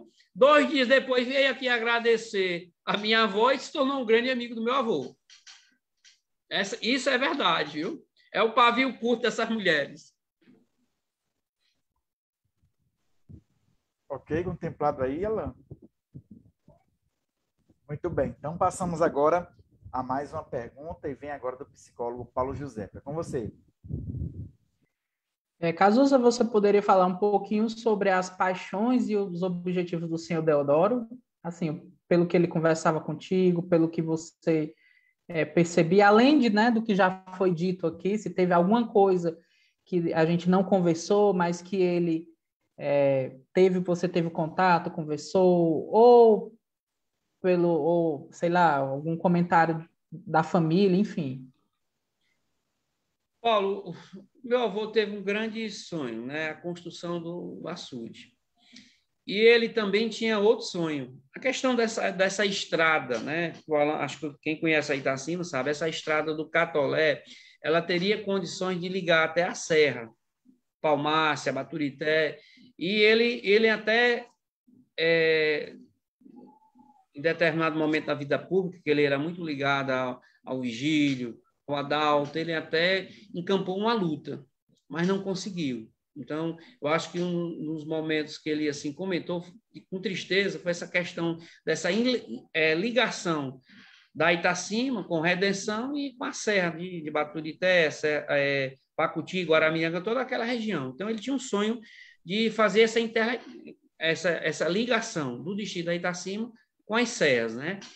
E em relação assim a, a história do vovô, eu, eu, eu, assim, eu relaciono muito com a questão do açude. Tinha um banqueiro aqui, um usineiro, era o João Grangeiro e não estou lembrado o nome sócio, que era dono aqui do terreno aqui do, do doutor Lázaro, e eles tinham um engenho de, de cana né? E era um dono até de banco no estado do Ceará. E ele disse, o meu avô, você falou disso, que ele disse se o avô construísse o açude, ele ia fazer uma estátua, né? E ele disse, o Birajara, era João Grangeiro e o Birajara. Aí ele disse, não, Birajara, não precisa disso não, eu vou trabalhar, mas vou construir até construir o açude. Então, o sonho do meu avô, a construção do açude. Assim, uma coisa, uma, uma, uma, um sonho, outro sonho que ele não conseguiu conquistar, a questão da estrada, né? Mas se você olhar quase todas as obras públicas que foram feitas nesse distrito, eu não posso falar em relação a Pacatuba, porque teria que se fazer uma pesquisa muito grande, mas com certeza teve a participação dele, diretamente ou indiretamente, né? Então, o nosso distrito aí Itacima, como disse, é uma história de muitas mãos, né? Não é só ele, né? Tem a participação aqui do seu Oswaldo, a dona Zanira, né? teve uma participação dessas pessoas. É tanto que eu não esqueço disso. O meu avô, antes de falecer, ele tinha um filho que era candidato. E ele fez questão de dizer, Cazuza, eu, eu lhe conheço, o meu apoio é você. E a quem ele pôde pedir, perto até de falecer, ele pediu. Né? Ou seja, um pai deixar de pedir voto para um filho e pedir para um neto. Então, aquilo ali me marcou muito, a lembrança dele ter me escolhido como, como um, um, um possível candidato a vereador, que eu ainda ia passar pelo, pelo um pleito. Então, isso me marcou muito. E, e é, essas lembranças é que ficam, né? Da, daquele cidadão calmo, tranquilo, sereno, que vendeu grande parte do seu patrimônio, né? dispôs de bens né? para construir um bem para a população. Então, as outras obras se tornam até pequenas. Né? A questão da vinda de algumas professoras, né, ela contribuiu com a educação do município de, de do distrito de Itacima. Então, participação dele ou de outras pessoas. Então, eu quero assim dizer que essa é a memória que eu tenho do meu avô, dele ter me escolhido como como como candidato a vereador, né? Eu não, não esqueço, onde ele estiver, eu sempre vou agradecer agradecer ele e agradecer a todos que contribuíram, né? Porque uma eleição não é muito, muito, não é muito fácil, né, Paulo? Eleição que você coloca o seu nome à disposição, a, é, bate a porta a porta, principalmente de vereador, né? Porque o, o vereador tem uma função típica, legislar, fiscalizar. E o vereador do interior é aquele que assistente social, é o advogado, é o psicólogo, é o médico, é o motorista. Se é hoje, imagina no passado. Né? Então, eu, o que eu quero é, como o meu avô fez, contribuir para o meu distrito, porque é aqui que o meu avô morou, construiu sua família, é aqui que eu moro, quero construir minha família, então o que eu puder contribuir como cidadão e como legislador, farei. Sei que eu ando longe de andar perto do meu avô, né? Falo disso com toda a emoção. E onde ele tiver, agradecer a sua escolha. Obrigado, Paulo. Muito bem, então a gente está aqui nessa live, abraçar o nosso amigo Erineu Rodrigues, Miller Cruz também acompanhando, desejando esse boa noite a todos e todas. Também abraçar Mozarina Saldanha, obrigada Cazuza, ela também agradece.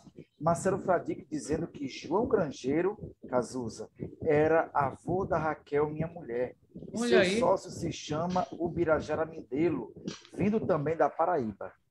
Então, Você veja aí, contribuição né? Que coincidência, né, né Galvésio? Né? Coincidência, né? Eu falando aqui que eram proprietários do Coalançado, da, da, de usina de açúcar e do terreno aqui que era o doutor Lázaro. Olha aí, é realmente. E a gente traz aqui Vanessa Pereira Lima dizendo seu Deodoro, nosso vice-prefeito de Guaiúba, né? Também ainda tem aqui Julinho, né, Itacima comentando dizendo tudo acaba juntos e misturados. Então obrigado aí, Julinho, pelo seu comentário, a sua participação aqui conosco. Nós vamos agora, enquanto a gente toma água, né? Nós temos aqui exatamente os nossos parceiros, já terminando esse terceiro bloco, onde nós estamos com a temática Memórias de Deodoro Valentim Maia, hoje entrevistando online aqui pelo Facebook Águas do Vale de Guaiúba, José Cordeiro de Miranda, vereador Cazuza, assim como é conhecido no distrito de Itacima e em toda Guaiúba. Mas estamos trabalhando com os nossos parceiros, o Fábio Geladão, no bairro Santo Antônio, onde você pode encontrar a cerveja gelada e pode ir aonde você estiver. Então você pode pedir né, aí para a sua comemoração, para o seu final de semana, a cerveja gelada através do zap 98884 1141. Vou repetir, 98884 1141. Eu falei para você de Fábio Geladão, no bairro Santo Antônio. Também trabalhamos aqui com o Sur Hall, o Templo do Entretenimento, que no dia 13 de novembro traz novidade para Guaiúba, que é justamente The Feveres com Augusto. Então é mesa limitada, você pode já adquirir a sua mesa aí com família, com amigos para curtir The lá no Sori Hall, o templo do entretenimento. Você pode já adquirir a sua mesa através do número de telefone, pelo Zap 98739 5702. Vou repetir, 98739 5702. Então vamos continuando trabalhando essa temática muito importante nessa noite, Memórias de Deodoro Valentim Maia, agora com você mais uma vez, Valberto Feitosa. Obrigado, Galvez.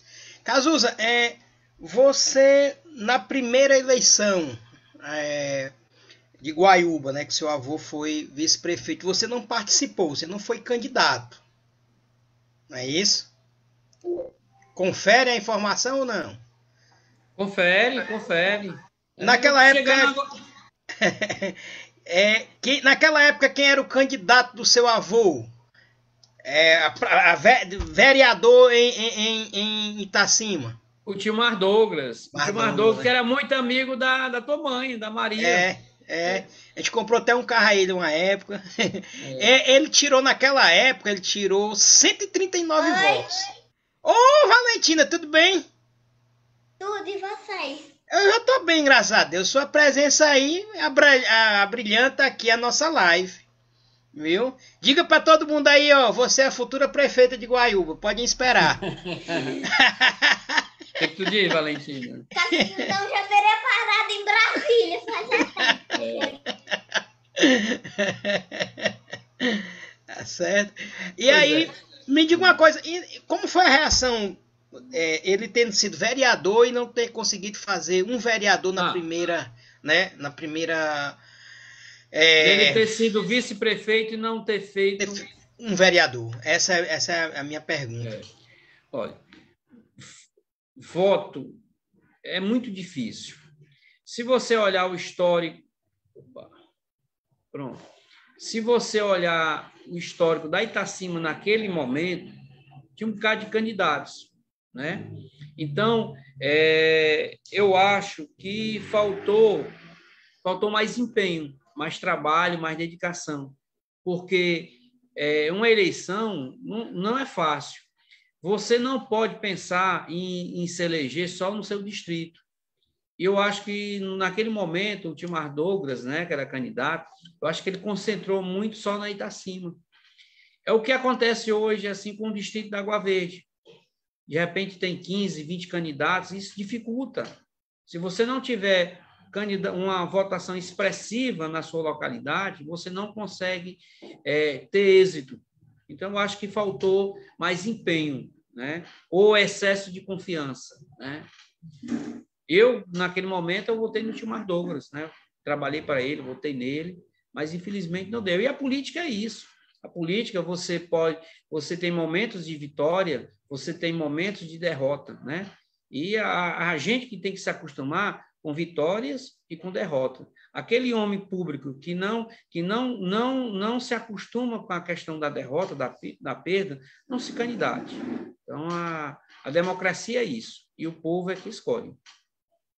Porque a gente percebe que, por exemplo, eu acho que houve aí, ah, como você acabou de falar, um, uma união mais forte em torno de um único nome, né?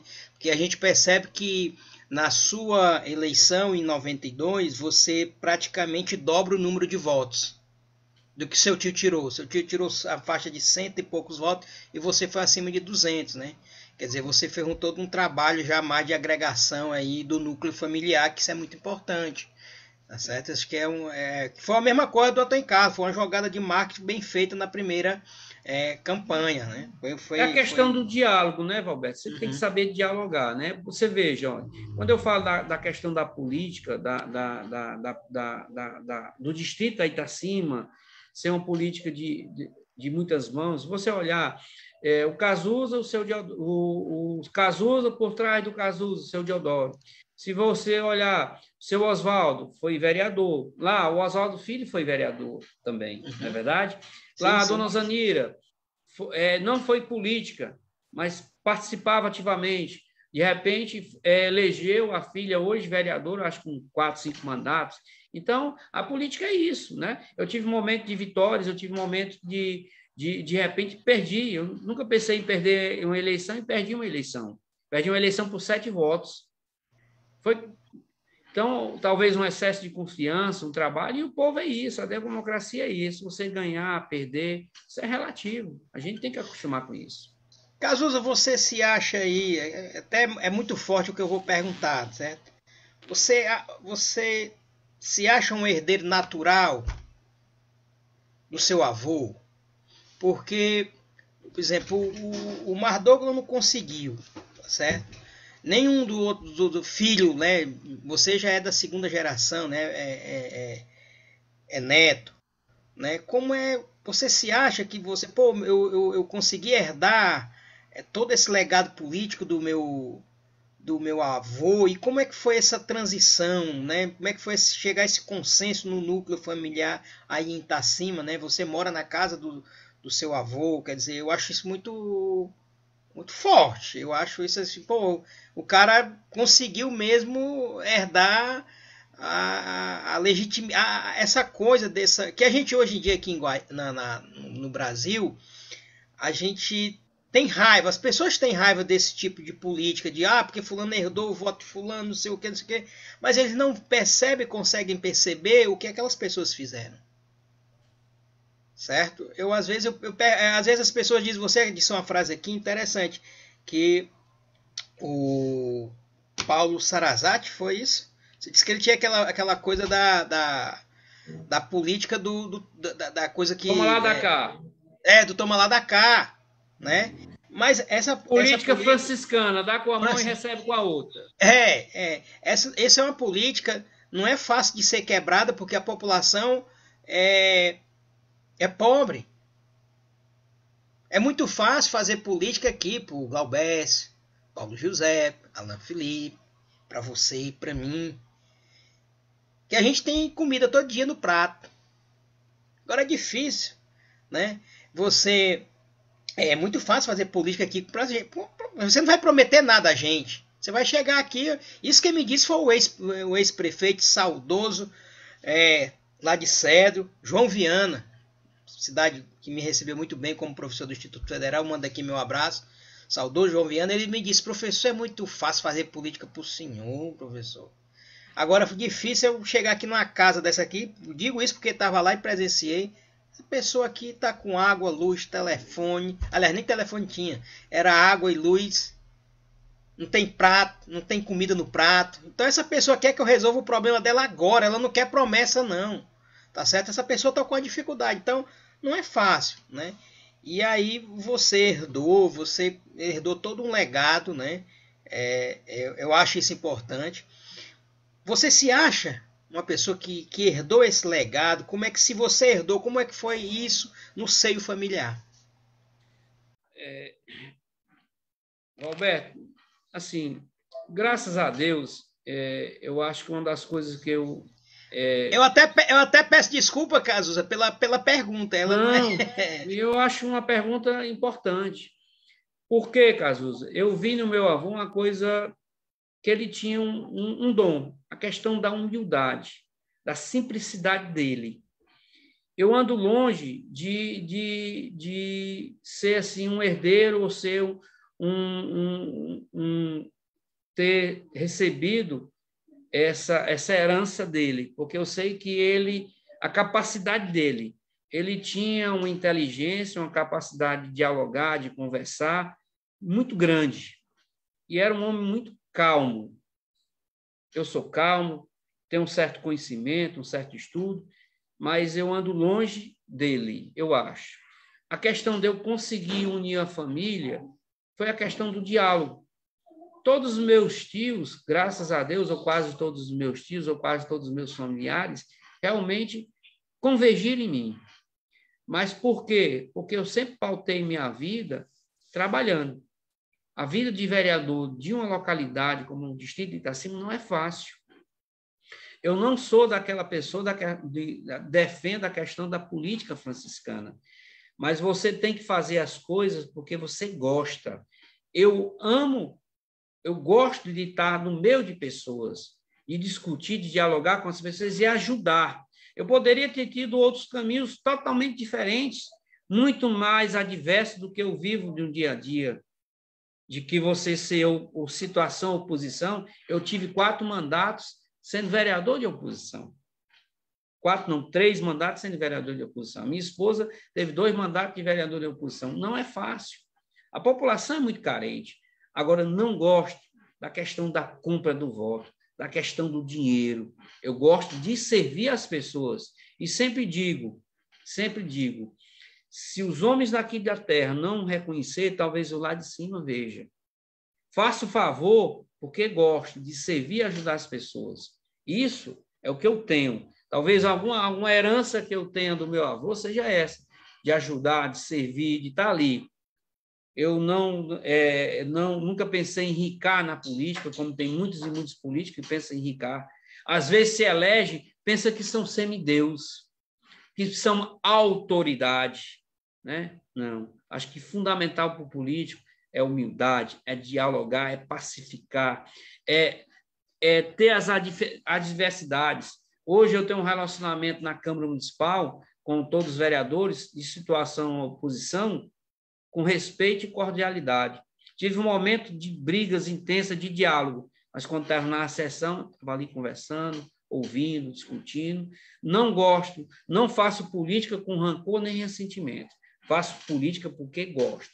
Então, essa questão do legado do meu avô, eu aprendi isso observando como ele se comportava, naquela simplicidade dele, de conversar com uma pessoa simples, de conversar com uma pessoa, com uma pessoa que tivesse mais recursos, né, mais condições, como eu, o, o bem o Marcelo falou do Birajara, é, o João Grangeiro, que era um usineiro, pessoas como a, às vezes meu avô ia teve momentos de ir a Brasília, é, tá lá junto com alguns políticos importantes de recursos financeiros, mas sempre com aquele jeito humilde, um jeito humilde de, de conversar, não tinha estudo, não tinha isso, mas tinha um grande conhecimento.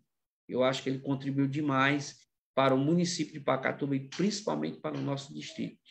E a vida de, de vereador não é fácil. É muito fácil criticar, é muito fácil cobrar, é muito fácil exigir, mas nós eu tenho certeza, quando eu boto a cabeça no travesseiro, eu, minha esposa, a gente faz sempre o bem, sem olhar quem. E o futuro a Deus pertence. Não, nunca fiz política querendo é, é, jogar na cara, querendo cobrar, exigir que o eleitor vote em mim por causa que eu fiz algum favor.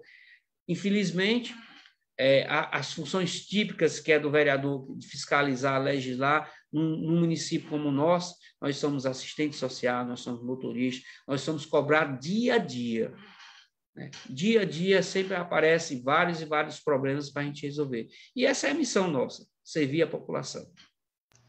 Cazuza, quando você fala assim, ah, meu avô não tinha estudo, eu, me, eu, eu, eu fico pensativo, né? Pensativo porque hoje em dia é um mar de diploma. É um mar de diploma. Quase todo mundo agora tem um diploma de ensino superior, de mestrado e doutorado. Mas o conhecimento passa longe, mais longe, muito, muito, muito longe.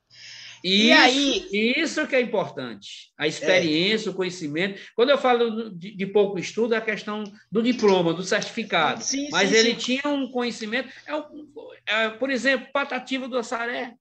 É. Qual o conhecimento que aquele cidadão tinha? Sim. Não é verdade? É, não é verdade? A gente, a gente, ele, a o gente... título, o conhecimento não o título, mas o, o, título. o conhecimento. O conhecimento é vasto. É. é, porque eu sempre me preocupo com isso, por quê? Porque nós temos aí em Guaiú, por exemplo, uma pessoa como o professor Simval, que não tinha curso superior, mas era um camarada que previa a inflação. Eu digo isso porque eu conversava com eles. Roberto, a inflação do próximo mês vai dar tanto. E batia. Era um cidadão que sabia latim, tá certo? E aí, a gente vai, se a gente olhar a escolaridade, o nível escolar das pessoas do passado, eles não têm a tecnologia que nós temos hoje. É claro, é evidente. Mas um aluno que terminava o, a, a, o primário, que, que, que, que, ia fazer o teste de admissão para chegar lá no, no na, na, antiga, na antiga quinta série, que hoje é o, o, o sexto ano, a gente percebe que era outro nível. É outro nível totalmente diferente. Por quê? Porque aquelas, aquelas pessoas estudavam de verdade certo? Aqueles camaradas não se intertiam aqui com negócio de computador nem nada não. O cara estudava mesmo pra caramba, tá certo? Então a gente percebe que aquelas pessoas do passado, além do conhecimento, eles tinham uma coisa que é fundamental que, eu, que hoje as pessoas, as pessoas que estão formadas, elas é, deixam né, de lado, que é a sabedoria. Roberto, que é isso que você faz. Você me lembrou de uma pessoa, o pai da Beethoven, só lhe, desculpe interromper, o pai da, o, Paulo, pai da Beethoven. Como é o nome dele? É o Paulo. É o Paulo. Paulo... Calisto, é? é o... Não, não, não, não é Calisto, não. É o. Paulo Leão. Paulo não, não, Leão, também né? não. Não, não, deixa eu ver aqui da Beethoven, eu me lembro, pai. Ele foi meu vizinho, pai. Pois é, um cara Agora que tinha um conhecimento incrível. Eu conversei pouco com ele algumas vezes e via o, o saber dele, o conhecimento, a sapiência dele, incrível. Eu fiquei, rapaz, como é que pode? É? Sim. Então, hoje em dia, a gente tem sempre essa coisa. Então, a, a, gente, a gente percebe que, que, que as pessoas têm diplomas, têm títulos, né, têm conhecimento, mas falta sabedoria, que era algo que o seu avô tinha. Tá certo? Aqui eu lembro muito que eu li um livro há muito tempo atrás, que é do padre Sertlange, A Vida Intelectual, e ele diz, ele nos adverte que o é o Paulo Galdino, é Paulo Galdino, o pai da Beva Tovânia. Viu, Cazuza? É o Paulo Galdino. E aí ele, ele, ele nos adverte que a gente aprende até com o homem do campo. E isso se chama sabedoria. Laubécio? A gente fica conversando aqui, fica se empolgando, Glaubécio, aí pronto, esquece até. Mas é porque está bem agradável nesse né, momento, acho que é oportuno para essa noite, com certeza falar de Deodoro Valentim Maia, né, um político, um homem né, que na sua época construiu e ajudou a construir a história de Guaiúba. É mais do que importante fazer essa memória. Mas eu já passo aqui a, a participação né, do nosso querido professor Alain Felipe Silveira. É, eu tinha uma pergunta que o Casos antes acabou respondendo que assim a, a, grande a grande obra né que, logo remete à atuação política do seu Deodoro, obviamente, é o açude, né? Mas eu tinha, de fato, a curiosidade que você respondeu antes de qual seria, né, um, um, um objetivo que ele não tinha alcançado até, até o final da vida. E você disse que era a estrada. Mas, então, queria partir para outra pergunta e, e destacar, professor Valberto também, que, que a Itacima, né, esse, esse pequeno distrito longe da, da sede, tanto da sede da Pacatuba como ainda da Guaiúba, um pouco, tem uma tradição política, né, se for se for analisada, fortíssima, né, desde desde o, o início do século XX. A gente teve entre 1908 e 1912 Francisco Pereira de Andrade na Câmara da Pacatuba, né? Era de Itacima, faleceu em Itacima entre 1908 e 12. Entre a década de 30 e 40, a gente teve o Manuel da Cunha Leite também em vários mandatos, né? morando aqui vizinho no sítio Boa Esperança, mas era é, um representante da Itacima.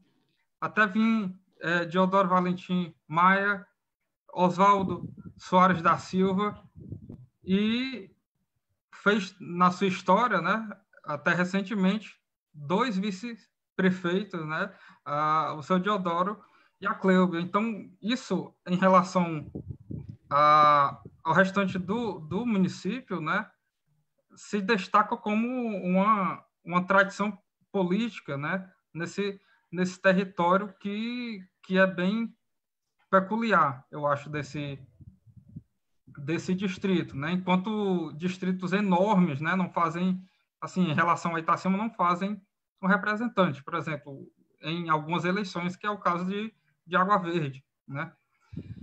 Então, eu queria Mas voltar... aí, Alan, tem, tem, tem, é, você falou bem, você comparou dois distritos, Água Verde e Itacima, só que tem uma pequena diferença, que é o que nós falamos aqui dentro do, do, do início, que é uma coisa familiar. Uhum. É, Água Verde é uma coisa que não. Assim, me desculpe as pessoas da Água Verde. Não tem aquela liderança, né? Pô, aqui essa, essa aqui. Essa liderança morreu com uma pessoa. Marbier. Morreu com Marbier. Aí, aí Água Verde tem vários líderes. Que aí juntando, eles não conseguem se unir. Por isso que Água Verde, um distrito daquele tamanho, não consegue fazer um vereador. Então o pessoal da Água tem que começar a pensar um pouquinho. Porque, como você bem disse, acho que Itacíba é muito menor, né, populacionalmente falando, tá certo? E consegue fazer um vereador em quase toda legislatura tem aí um vereador. E Roberto. aí o que diferencia, na minha opinião, é essa questão familiar, tá certo? Você Roberto, tem ali... Che... Pois não, Cazuza? Chegou a ter quatro vereadores do distrito da Itacima. Quatro aí. vereadores. Quatro vereadores.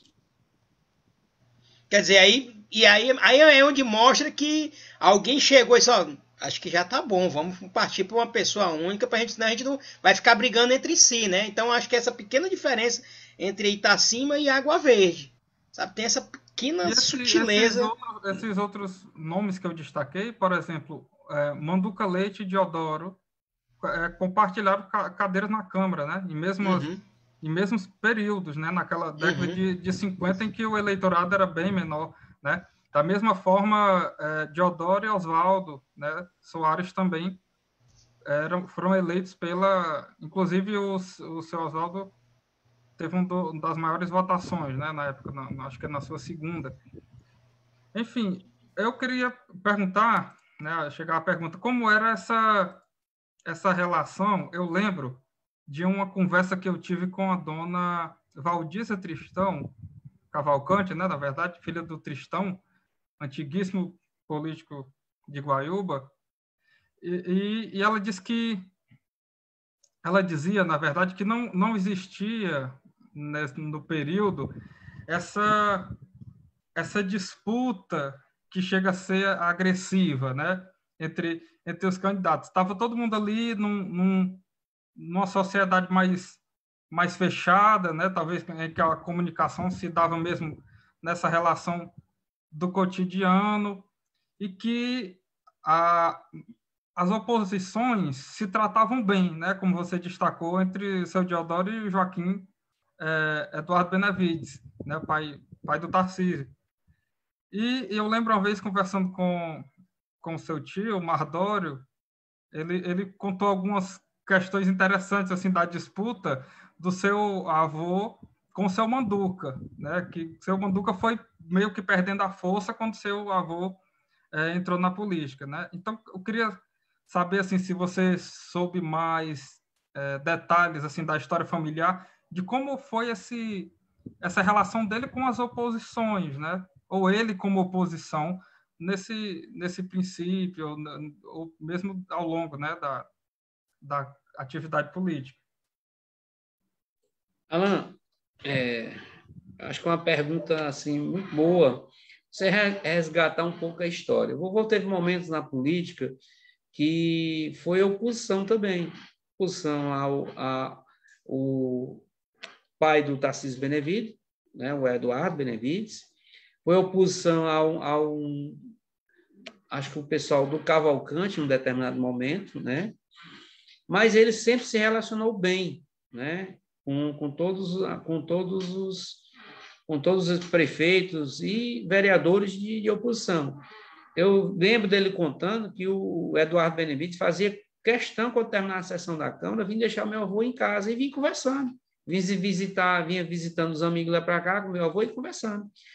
E na hora do voto, cada um seguia os seus caminhos, né? Mas sempre teve, teve respeito ouvi o meu avô contar muito, que teve uns debates muito acirrados na Câmara de Pacatuba, com, com alguns vereadores da Itaitinga, né? E Itaitinga, nesse momento, pertencia a Pacatuba. E ele sempre conseguiu apaziguar os ânimos. Chegou a ter momentos tensos, né? Em relação ao seu Manduca Leite, ele, ele tinha um relacionamento com o seu Manduca, assim como, como foi com o seu Francisco, um relacionamento muito, muito de amigos, né? E, e a disputa do voto, o eleitor que se definia. Então, teve um momento que o meu avô disputou com o seu Manduca, acho que foi a, a de 1950, ou foi a, a, seguinte, né, que o seu Manduca parece que perdeu, e o meu avô conseguiu ganhar a eleição, e o meu avô permaneceu na política. O seu Manduca, eu acho que ele não está na hora de passar o bastão, né? Tem um momento que você tem que passar o bastão, ter humildade, dizer, deixar para outros seguir, construir cam caminhos melhores para a sociedade, para o nosso distrito. E assim foi. Mas sempre teve um relacionamento muito bom com o seu Manduca e com, com as famílias, né? o familiar, o seu Francisco, com todos os familiares, como hoje é o Leite Neto, os, os netos do seu Manduca, né? Então, a lembrança que eu tenho é essa, né? De, de, de, em relação ao seu Manduca, em relação à questão de oposição situação, teve um momento na vida pública dele que ele foi oposição na Pacatuba, mas sempre teve um respeito. Eu acho que nós temos que discordar no momento das ideias, mas sempre com respeito com cordialidade. E isso é que né, nós devemos fazer. Eu acho que eu aprendi um pouco, aprendi um pouco, né? Porque, como falou Val, falei o Valberto, era um, era um senhor que não tinha um certificado do segundo grau ou um certificado de, de, de graduação, mas tinha uma sabedoria imensa. Né? Eu tenho aí né? sou graduado, sou pós-graduado, sou mestrando, ando longe de, ando longe, muito longe dele de ter a sabedoria e a inteligência que ele tinha. Mas isso, isso mesmo, nós temos aqui para aprender. Pode ser que lá para frente eu consiga chegar perto dele, né, Valberto? Muito bem. Pai, você já chegou. Aqui o pessoal está discordando de você, Caso. Ó, a pessoa disse aqui, deixa eu ler aqui. Ó, uma pessoa colocou aqui uma coisa interessante. Juliane Maia, acho que é sua parente. Casus herdou mesmo a tranquilidade do seu Deodoro, grande homem. Tá vendo? Você disse Obrigado, que tem paciência. Hein, Um ela... aí, Juliane. Ela disse que você herdou a paciência, tá vendo? Muito bem. Então, nós estamos continuando esse papo muito bom, essa entrevista online pelo Facebook Águas do Vale de Guaiúba, especialmente nessa noite, onde nós estamos trabalhando essa temática tão especial que as memórias de Deodoro Valentim Maia, hoje recebendo né, o vereador, uh, professor também do município, José Cordeiro de Miranda, conhecido como Cazuza. E a gente abraça ainda outras pessoas que estão aqui na live, Eliel Shoa, Valneide Pereira, Celestina Cosmo também, né? Inclusive ela está dizendo aqui, amei falar, porque falar de política é falar de melhoria, como ela está citando aqui nos comentários. Abraçar também a Milka Maria participando, essa Vanessa Pereira Lima, né, que está dizendo que sabedoria e conhecimentos é poder e vem da vivência. Muito bem. E agora a gente traz aqui, antes da pergunta do Paulo José, para a gente encerrar esse quarto bloco né, dessa entrevista, estamos a uma hora e 54 minutos de bate-papo aqui com o vereador Cazuza.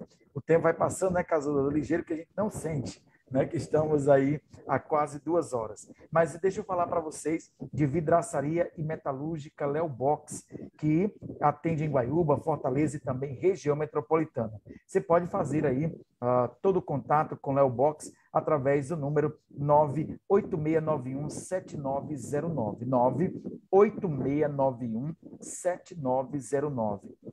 Como também trabalhamos em nome da Zipnet Telecomunicações. A Zipnet é uma empresa que é provedora de internet ah, no município de Guaiúba, atua com seriedade, transparência e, sobretudo, o respeito pronta para atender aí e satisfazer as necessidades dos clientes. A Zipnet está localizada ali na rua Antônio Ascioli, número 81, no centro de Guaiúba. Para ter contato com a Zipnet Telecomunicações, através do número 98564 8946. 8564-8946. E também estamos trabalhando com a parceria do contador André Barbosa, com seu serviço profissional, ele que faz aí todo o serviço né, da contabilidade. E você que tem comércio, então para a sua vida própria pessoal, você pode contatar nosso amigo André Barbosa, contador, através do número 99613 8588. Repito, 99613 8588. Falou, Giuseppe, é com você.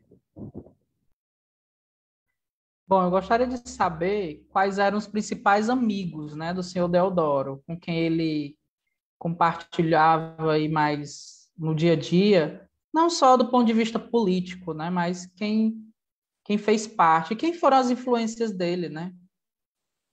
Também para a vida política.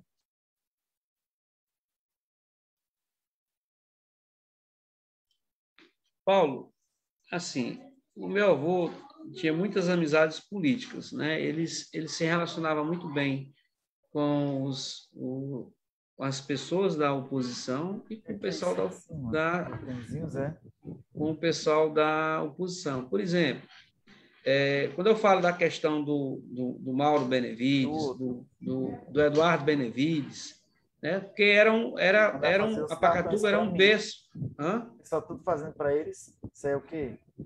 Oh, tá tendo interferência, o Glaubes, do seu microfone. Acho que você tá com outro microfone e tá alterando aqui. Tudo bem, desculpe.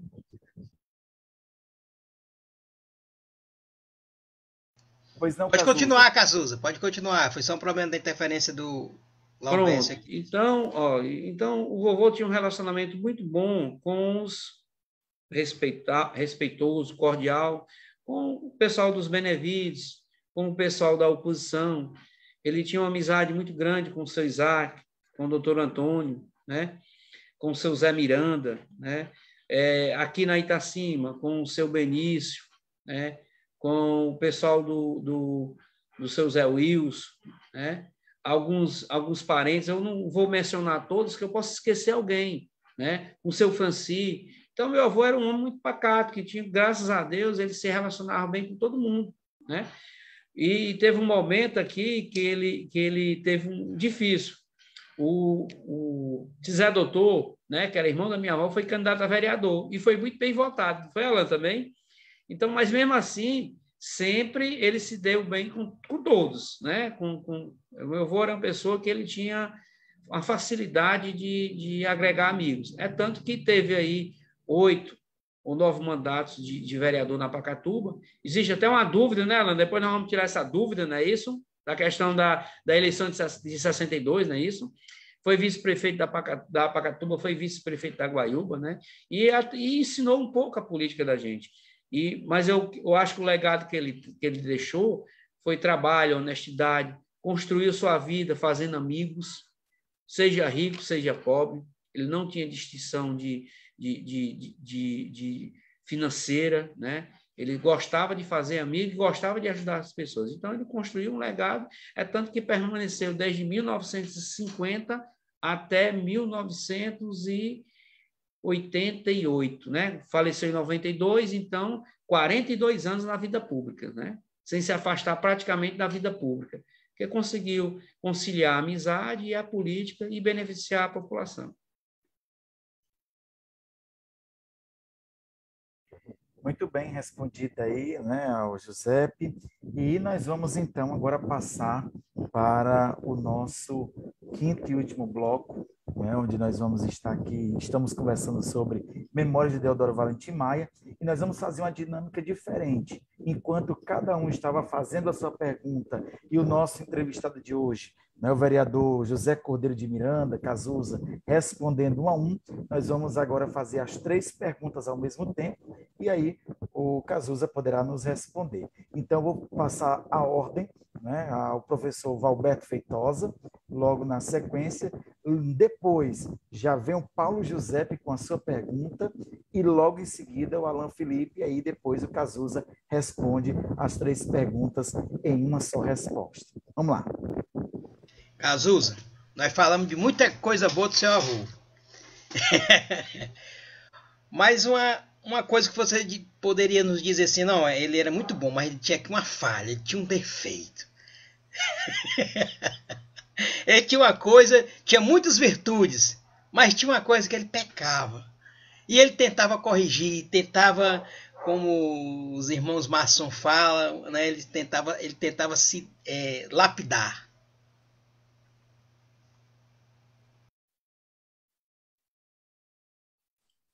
é a próxima? Alan Felipe, é você. Isso mesmo, Alan Felipe. Tá bem. É, imaginando assim, a gente falou, né? Claro, tem aqui em Itacima, por exemplo, tem dois, tem o polo de convivência e tem a creche que hoje recebe o nome do seu Diodoro. Mas assim, eu queria saber se para o Cazuza, ou, para a Cleo, para a família, se vocês ainda teriam um desejo ou alguma, alguma forma de, de materializar uma homenagem ou uma falando de memória, né, ou a memória do senhor Diodoro, seja no distrito de Itacima ou no município de Guaiúba, algo assim que que de fato servisse de, de homenagem. Eu queria saber se um, um, um feito político, algo do, do tipo que servisse também para homenagear alguém tão que passou tanto, tanto tempo na, na atividade política, né, e que tem um, um significado na história e memória também. Giuseppe? Bom, a minha pergunta é por que Torres, né, em Itacima? Que é que tem aí? Qual é a ligação com o senhor Deodoro, com a família? Ok, muito bem. Então, Cazuza. É, Alberto, é, eu não sei se é defeito, né? Sim, veja bem, é, o que eu, algumas informações, alguns comentários que chegavam a mim, é que o meu avô era muito namorador também. Eu não sei se é defeito, né? Ele era danado, né? Eu não sei se é o sangue de Maia, eu não sei o que é, se é Valentim, né? Assim, que eu talvez considerasse um defeito, mas diziam que ele era muito namorador. Eu não sei, né? Em relação a, assim, a defeito, que eu não sei se é defeito ou é virtude, eu não sei, né? Mas eu não vejo assim nenhum na índole, na pessoa dele, né? Eu não vejo, eu não, não, não encontrei nenhum defeito assim, não, sei, não existe ser humano perfeito, mas eu, com pouco tempo que eu convivi com ele, de estar observando e estar aprendendo, eu não me lembro assim de um defeito dele ou de algum vício dele que de repente prejudicasse a si ou prejudicasse alguém. Eu não me lembro. Né? Então, a única coisa que eu poderia dizer dele seria isso. Né? Em relação ao que o Alan me falou, e qual seria uma obra, qual seria a homenagem é, que fosse prestada a ele, é, que talvez nunca saísse da memória do nosso distrito. Eu tenho aqui, Valberto, eu não sei se, se dá para mostrar, mas está aqui. Ó.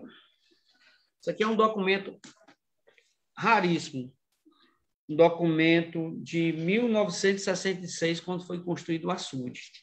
Inclusive, com as assinaturas dos engenheiros da época, do Denox. Que bem aqui está escrito o que o Alan até falou. Sítio Monte Alegre, propriedade açude particular, né?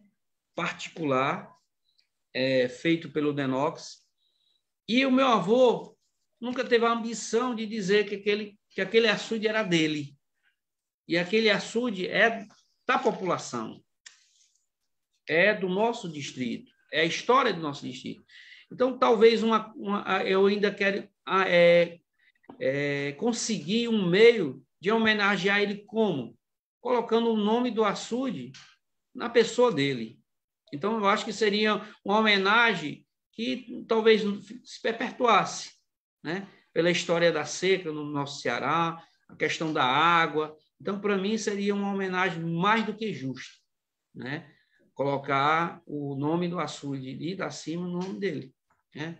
Já que ele dispôs de bens financeiro e bens materiais para construir, de muito trabalho. Chegou a trabalhar também muito no açude. Então, acho que seria uma, uma homenagem justa a ele. E eu não estou lembrado da pergunta do Paulo. Qual foi a pergunta, Paulo? Paulo José, qual foi a pergunta? Ah, foi sobre. Porque Itacima antes era chamado ah, de Torres, né?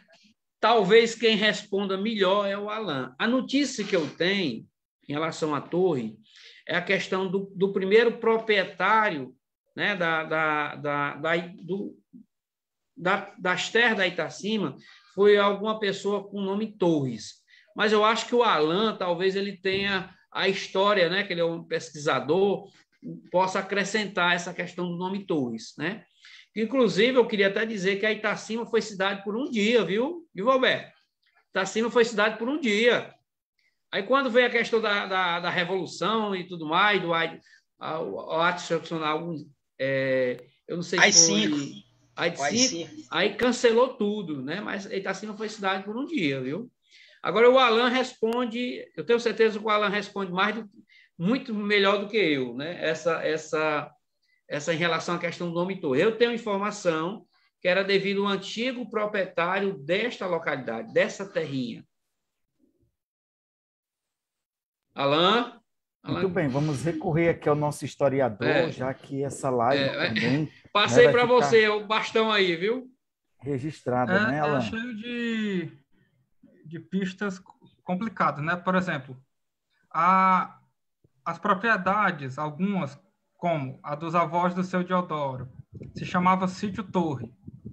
A do José Pereira de Souza, com o, um irmão dele, que agora eu esqueci o nome, que eram avós do Francisco Pereira de Andrade. Eles registraram as terras deles também, a partir da, da Lei de Terras de 1855, no livro da Paróquia do Maranguape, como torre de cima, né? Dando as extremas e tudo. E a gente tinha um proprietário na serra, aqui, essas serras aqui, Manuel Dias, né? Essa serra era conhecida como Serra da Torre. E a gente tinha um proprietário lá, eu não sei se é essa a referência, que se chamava Manuel Antônio Torre, é, Torres Portugal. Era um português. O filho dele foi até deputado, Manuel Ambrósio Torres Manuel Ambrosio da Silveira Torres Portugal, professor do Liceu também. O Gustavo Barroso cita ele nas memórias. Só que Torre, desde distrito, né? Distrito Torre, é tema de disputa na Câmara da Pacatuba em 1873, porque a Pacatuba toma o território da Carrapateira, que já existia com esse nome nessa, nessa época, e da torre, né, chamados quarteirões, que era uma espécie de bairro com um total chave de casas. E o Maranguá protesta, né? Só que acaba ficando com, com a Pacatuba mesmo.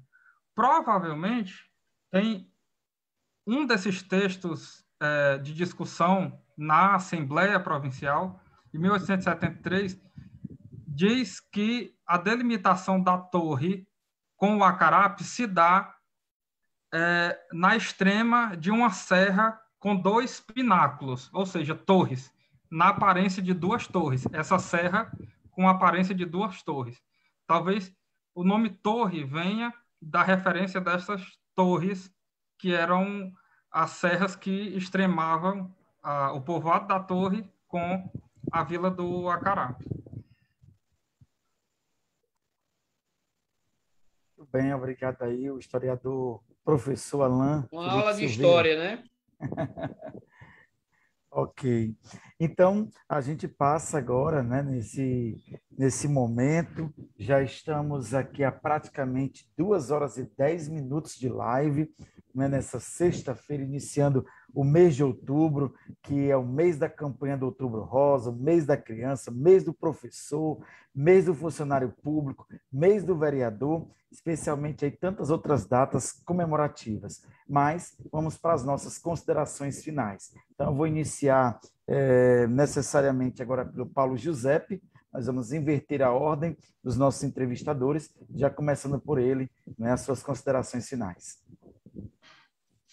Bom, gostaria de agradecer a presença de todos que nos acompanharam né, na, nessa sala virtual, as pessoas, os internautas, agradecer ao Cazuza pela presença, o professor Alan Felipe e o professor Valberto, Glaubécio aí na mediação, e por fim, desejar aí um excelente dia, né, que hoje é comemorado o dia do vereador, pessoas aí que estão também à frente, né, das nossas políticas públicas, porque querendo ou não, as as coisas começam a acontecer dentro do município, né? E eu, e eu acredito que é isso, né? O Instituto Águas do Vale é, é aberto ao diálogo, à cultura, a ideias, e é isso. A nossa ideia é poder trazer, dialogar e preservar a história de Guaiúba.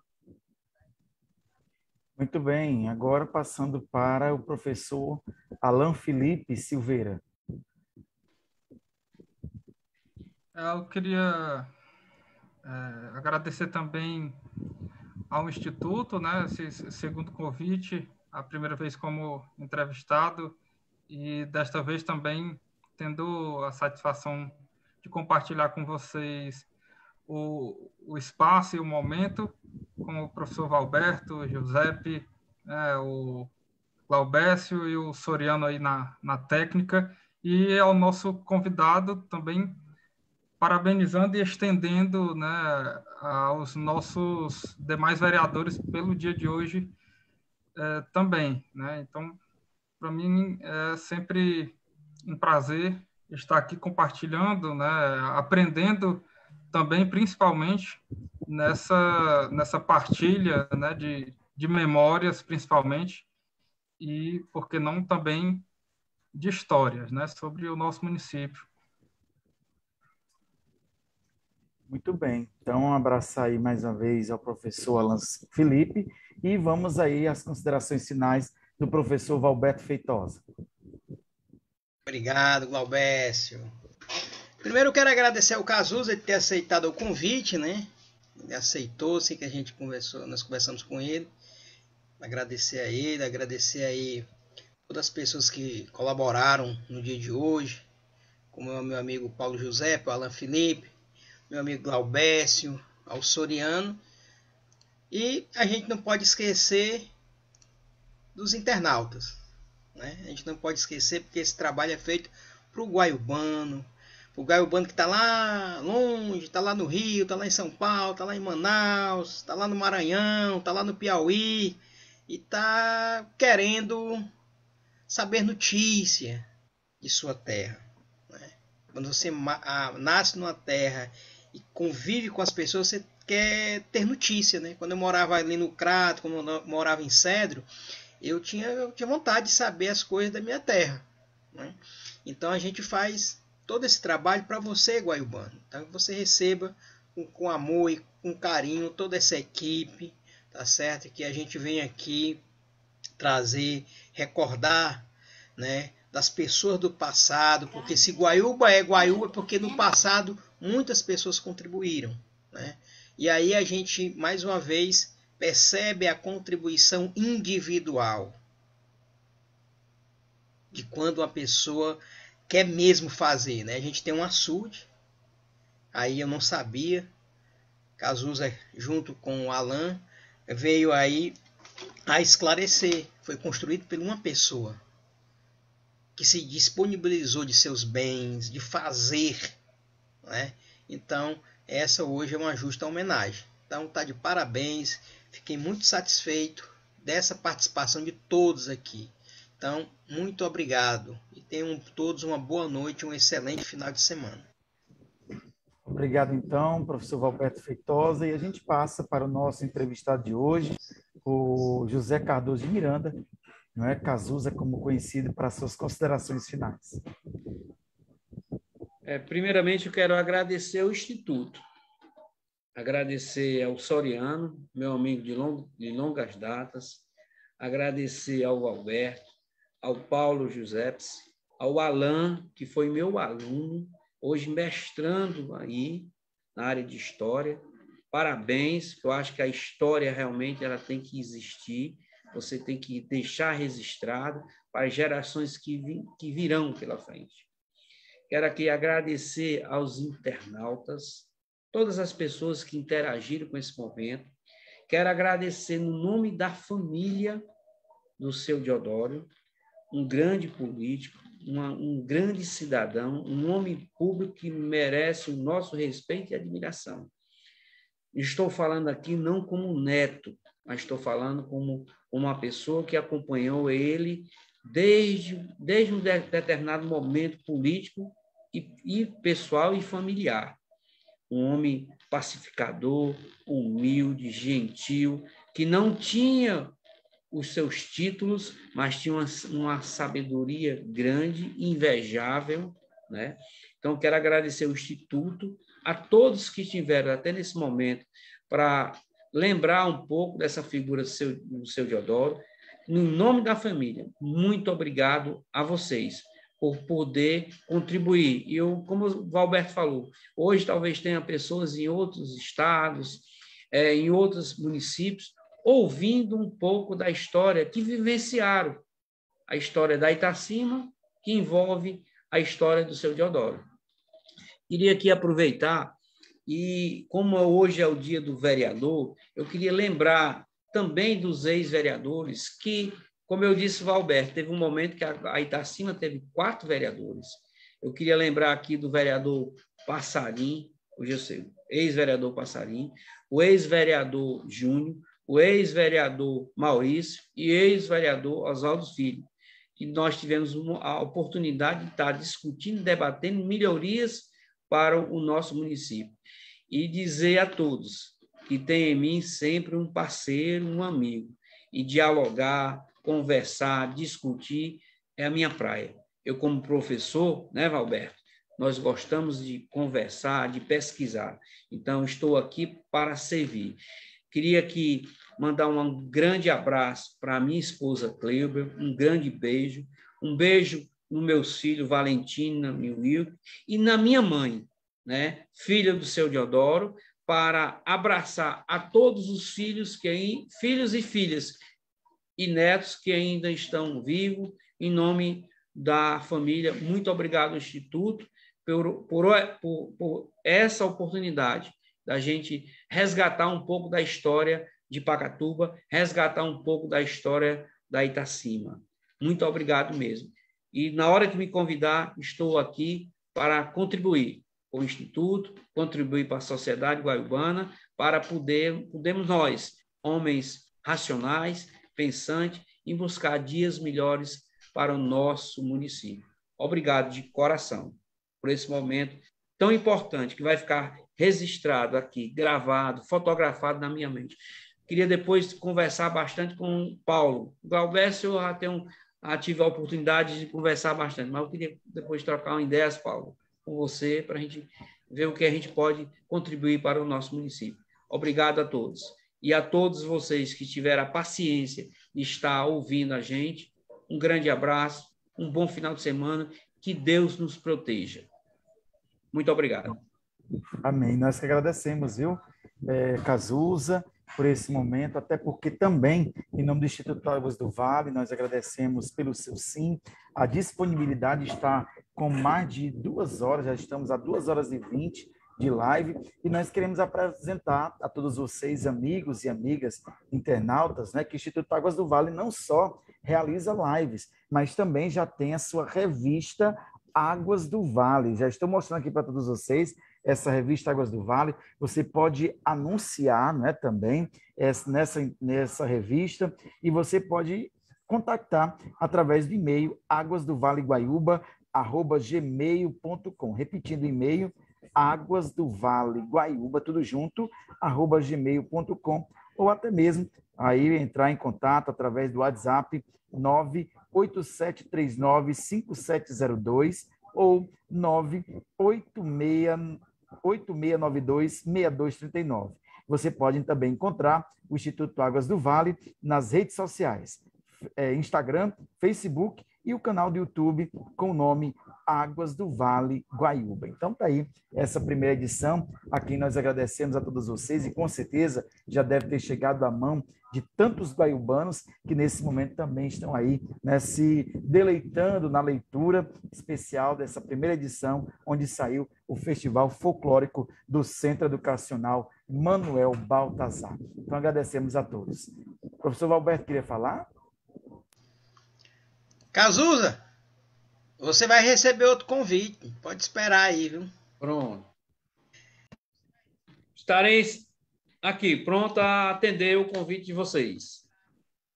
Muito bem, que bom.